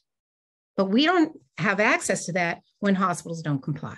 And what we found is only 5.6% in our report, which I'm happy to submit with my testimony, only 5.6% of the hospitals of those 500 were fully compliant with this new law. And as Mr. Rich said earlier, they've been, some of the New York hospitals have done cost estimator tools. That's only one small facet of this. The most important thing that these hospitals are to comply with is to unleash the actual prices, the actual data in that file, so that any tech innovator any consumer and all of us can be able to have access to know real prices up front. And patients know they benefit when they can get an actual and binding price rather than an estimate. Why? Because binding upfront actual prices are accountable. And estimates are useless because they're merely a range with no accountability to the hospitals for those prices. And patients find the estimate tools do not help them when fighting a bill. However, price discovery and price transparency does. I have to report to you today, and I can submit this as well in my testimony, is we found, we looked at 20 hospitals in the New York State, most in New York City, of which none were compliant fully in with this law. Do know that we know from Health and Human Services that it only costs a hospital approximate $11,868, which is what the OMB office, the federal OMB office and HHS concluded to post this, these, this data online. So going forward, um, the beauty is, is that we will do another report as of January of next year adding a thousand hospitals to our list. But he- the foundation to lower the cost of healthcare for all of us is for the New York City officials to weigh in to support that these hospitals must comply with this law. Support to this administration um, seeking even higher penalties, demand hospital prices from the CEOs and the CFOs of these hospitals, and know that next year, as of July 1st, 2022, all health insurance plans also have to show all of their negotiated rates and put it everywhere we have in the health system the ability for all of us to know actual prices negotiated by each and every plan, as well as the historical claims data on what prices actually get paid to the hospitals. Getting access, all of us, to this data will show us what hospitals are actually being paid by these health plans. And what we're seeing already from the healthcare hospitals that are posting their prices and those that we can see in the system that are beginning to compete, we're seeing huge price variation, not only across hospitals, but we're seeing huge price variation within the same hospitals. In fact, I can report that in New York City, that we saw not just what Cora experienced as a 24,000 average on a vaginal birth, but we saw vaginal births, normal, healthy vaginal births, coded similarly in the same New York hospital, New York Presbyterian, being at $85,000 to an individual patient. We've seen EpiPens priced at a $15,000 amount coming out of a hospital when had the patient not been handed that EpiPen from that hospital, but gotten merely a prescription, they could have gone across the street and gotten it for less than $100. We've helped fight these bills for patients because we can see prices. But we know now patients are also fighting their medical bills when they go in and they search by their plan what was the negotiated rate and what was the hospital price. Already, consumers are winning, but the real power is in all of us as a collective. Self insured employers, through the ERISA law, have the right and by law are the fiduciary for the welfare and health benefits of their employees. And just like what happened in the financial services industry, all of the rates and, and, and brokerage fees for retirement funds had to be made transparent. That is in ERISA law. So every self insured employer can share collectively and demand through a demand letter of their plan to get access now, before next July, to get access now to all of the actual negotiated rates by their plants. And there is absolutely no reason why, as a collective, we as unions and we as um, nonprofits and businesses can, and even New York City Council can't come together and demand this actual data today and then do the analysis and compare and then forward steer our employees and workers to the best cost of the best quality of care at the lowest possible prices. I thank you for this time today. And I um, think we have a great opportunity that lies ahead in the coming year, in two years, um, putting consumers in the driver's seat and all of us to have the right to have lower cost healthcare, broad access, and it be quite simple through a competitive functional market. Thank you. Thank you. Thank you so much for your testimony. We're now going to turn to Mark Zezza from New York State Health Foundation.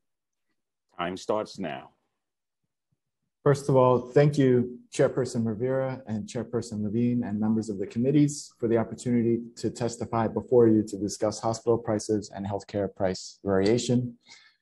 I am Mark Zezza, Director of Policy and Research at the New York State Health Foundation the foundation is a private, independent, charitable organization that operates statewide and has the mission of improving the health of all New Yorkers.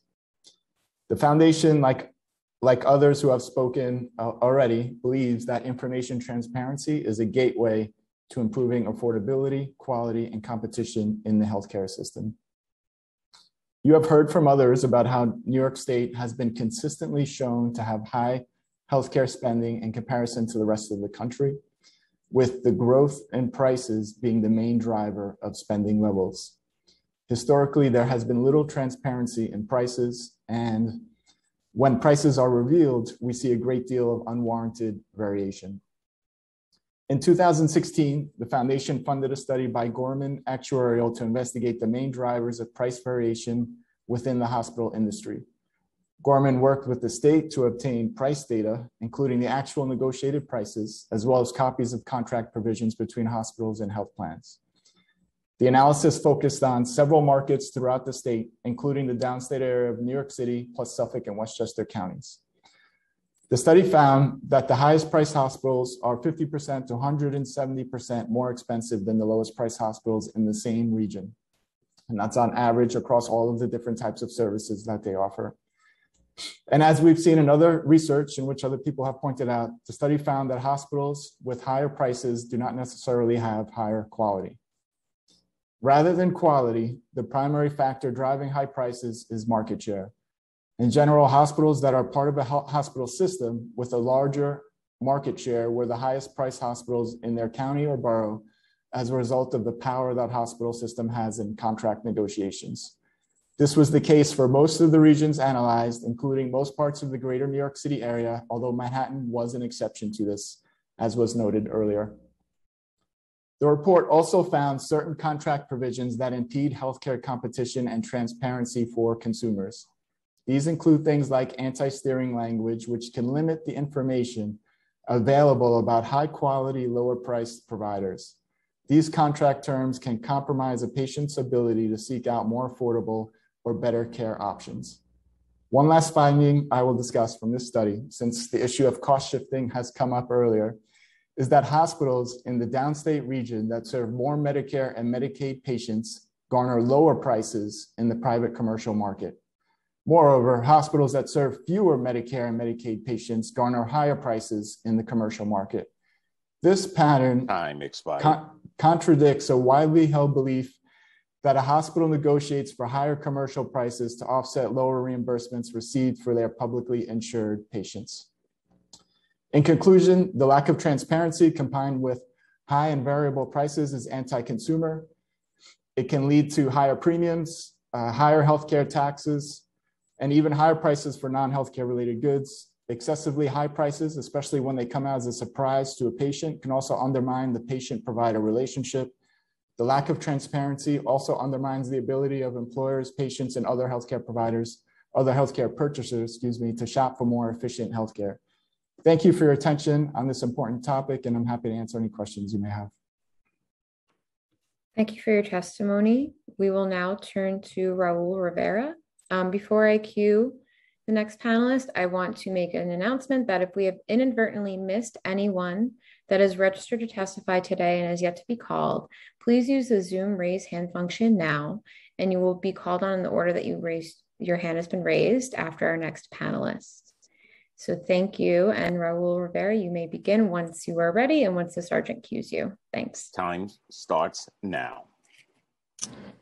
Uh, good afternoon. My name is Raul Rivera. I'm a Bronx native. Uh, I'm a TLC driver. Uh, I won't be speaking about taxi today, um, but I'm also a, a certified nursing assistant. Uh, I'm not working as one now, but I've worked in the past. Um, I don't have anything written down. I do have some bullet points that I want to bring up, and I'm I'm I'm a little bit. Uh, forgive me if I if I get a little worked up. Uh, I'm really upset. I'm really upset about mandates, and we're talking about access to care, and we're talking about hospital cost there's no greater uh, injustice to have our frontline workers, our nurses, people who work in the hospital, hospitals to be fired, to be forced to take a vaccine that they don't want. We, we have so many elected officials in the city. There's been many freedom rallies against uh, forced mandates, and nobody is coming out to speak out or speak for uh, the frontline workers um, there's there's nothing more brave than than doing what they did. It's it's incredible the work that they did. Um, I'm I'm I'm really upset. I I see a lot of hypocrisy, and uh, if you're for if you're for abortion rights, you should be against mandates because it's my body, my choice. They go hand in hand. Nobody has autonomy over your body. Um, I'm trying to get uh, Mr. Eric Adams to uh, let me know what's his stance. We know that uh, co-chair Levine is for mandates. Um, I think it's pretty uh, un- it's, it's disgusting, really. We we we call we call these frontline workers heroes, and today they're zeros. They're being fired, and nobody's speaking up for them. I hope I'm able to speak with the council member, uh, Carlina Rivera, when you have some time, so we can go over some more of my points. And we need elected officials to speak up for the frontline workers. You have to speak up for them. You you've been elected to speak for us. You are elected officials. You need to speak for us. You got to defend our rights. I don't know if you guys are doctors, but you can't tell people what to do when it comes to their body. It's freedom over fear. My body, my choice. And we need to end the hypocrisy. We need to stop pandering to the voters. We need to protect our frontline workers. We're talking about access to care. We're talking about hospital cost. What's the cost of losing our workers? There will be no access to care if they continue to get fired. Thank you for Time your time. expired. Thank you for your testimony. Seeing no hands raised, um, we will now conclude this panel. And I will turn it over to the chairs for closing remarks and statements, starting with Chair Rivera. Thank you so much. Uh, I will just say that healthcare is a human right. This is not a debate, and access to affordable care um, is non-negotiable. Um, earlier today, we we stood with the Coalition for Affordable Hospitals uh, to demand fair hospital pricing because we believe that is the right thing to do for the well-being of all New Yorkers. So I want to thank everyone who testified today and, and gave and, and shared their experiences, but also um, really share their concerns and, and the things that we have to do to make this a more equitable and transparent system. So I want to thank everyone from our, our state elected officials, our labor leaders, advocates, um, and all New Yorkers for, for taking some time to be with us today. And I'll turn it over to Co-Chair Levine before I close this out.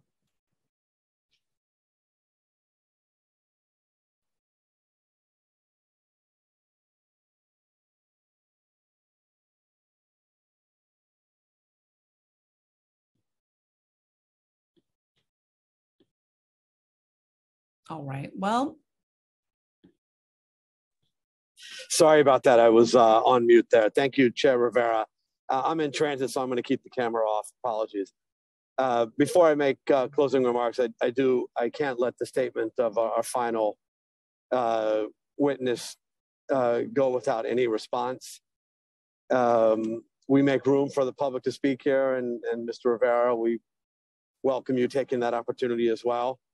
You have the right in this country to uh, refuse treatment for cancer, for a broken leg, uh, for a clogged artery, uh, for better for worse. If uh, you don't want to take care of yourself for those um, medical problems, that's your right. But none of those conditions are contagious.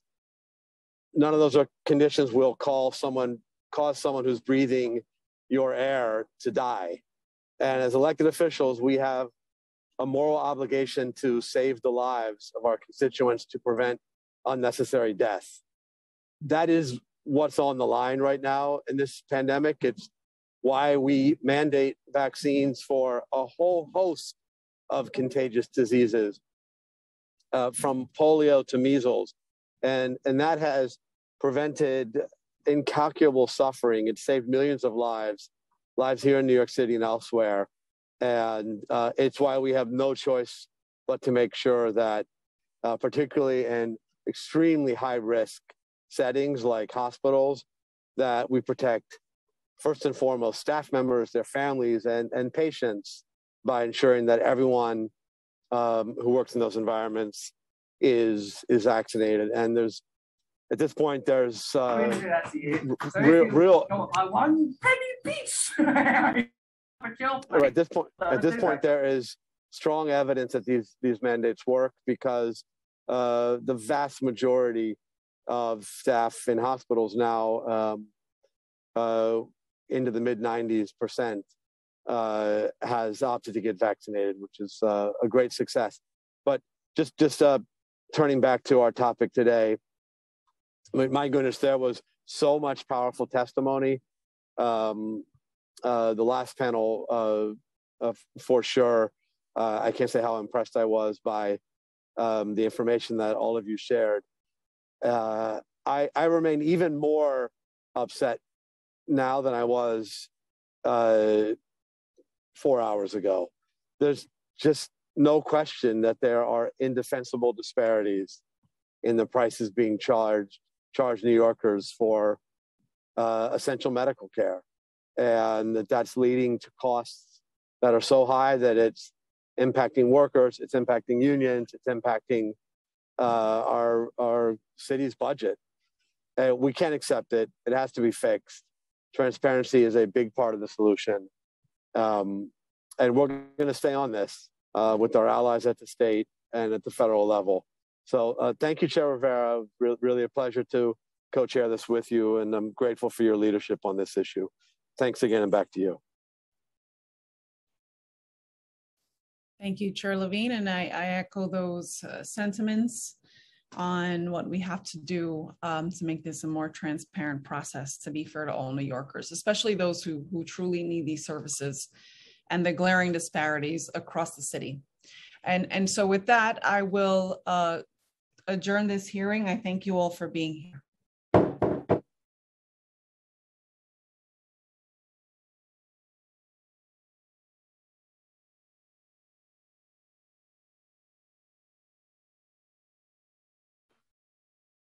The recording is done and this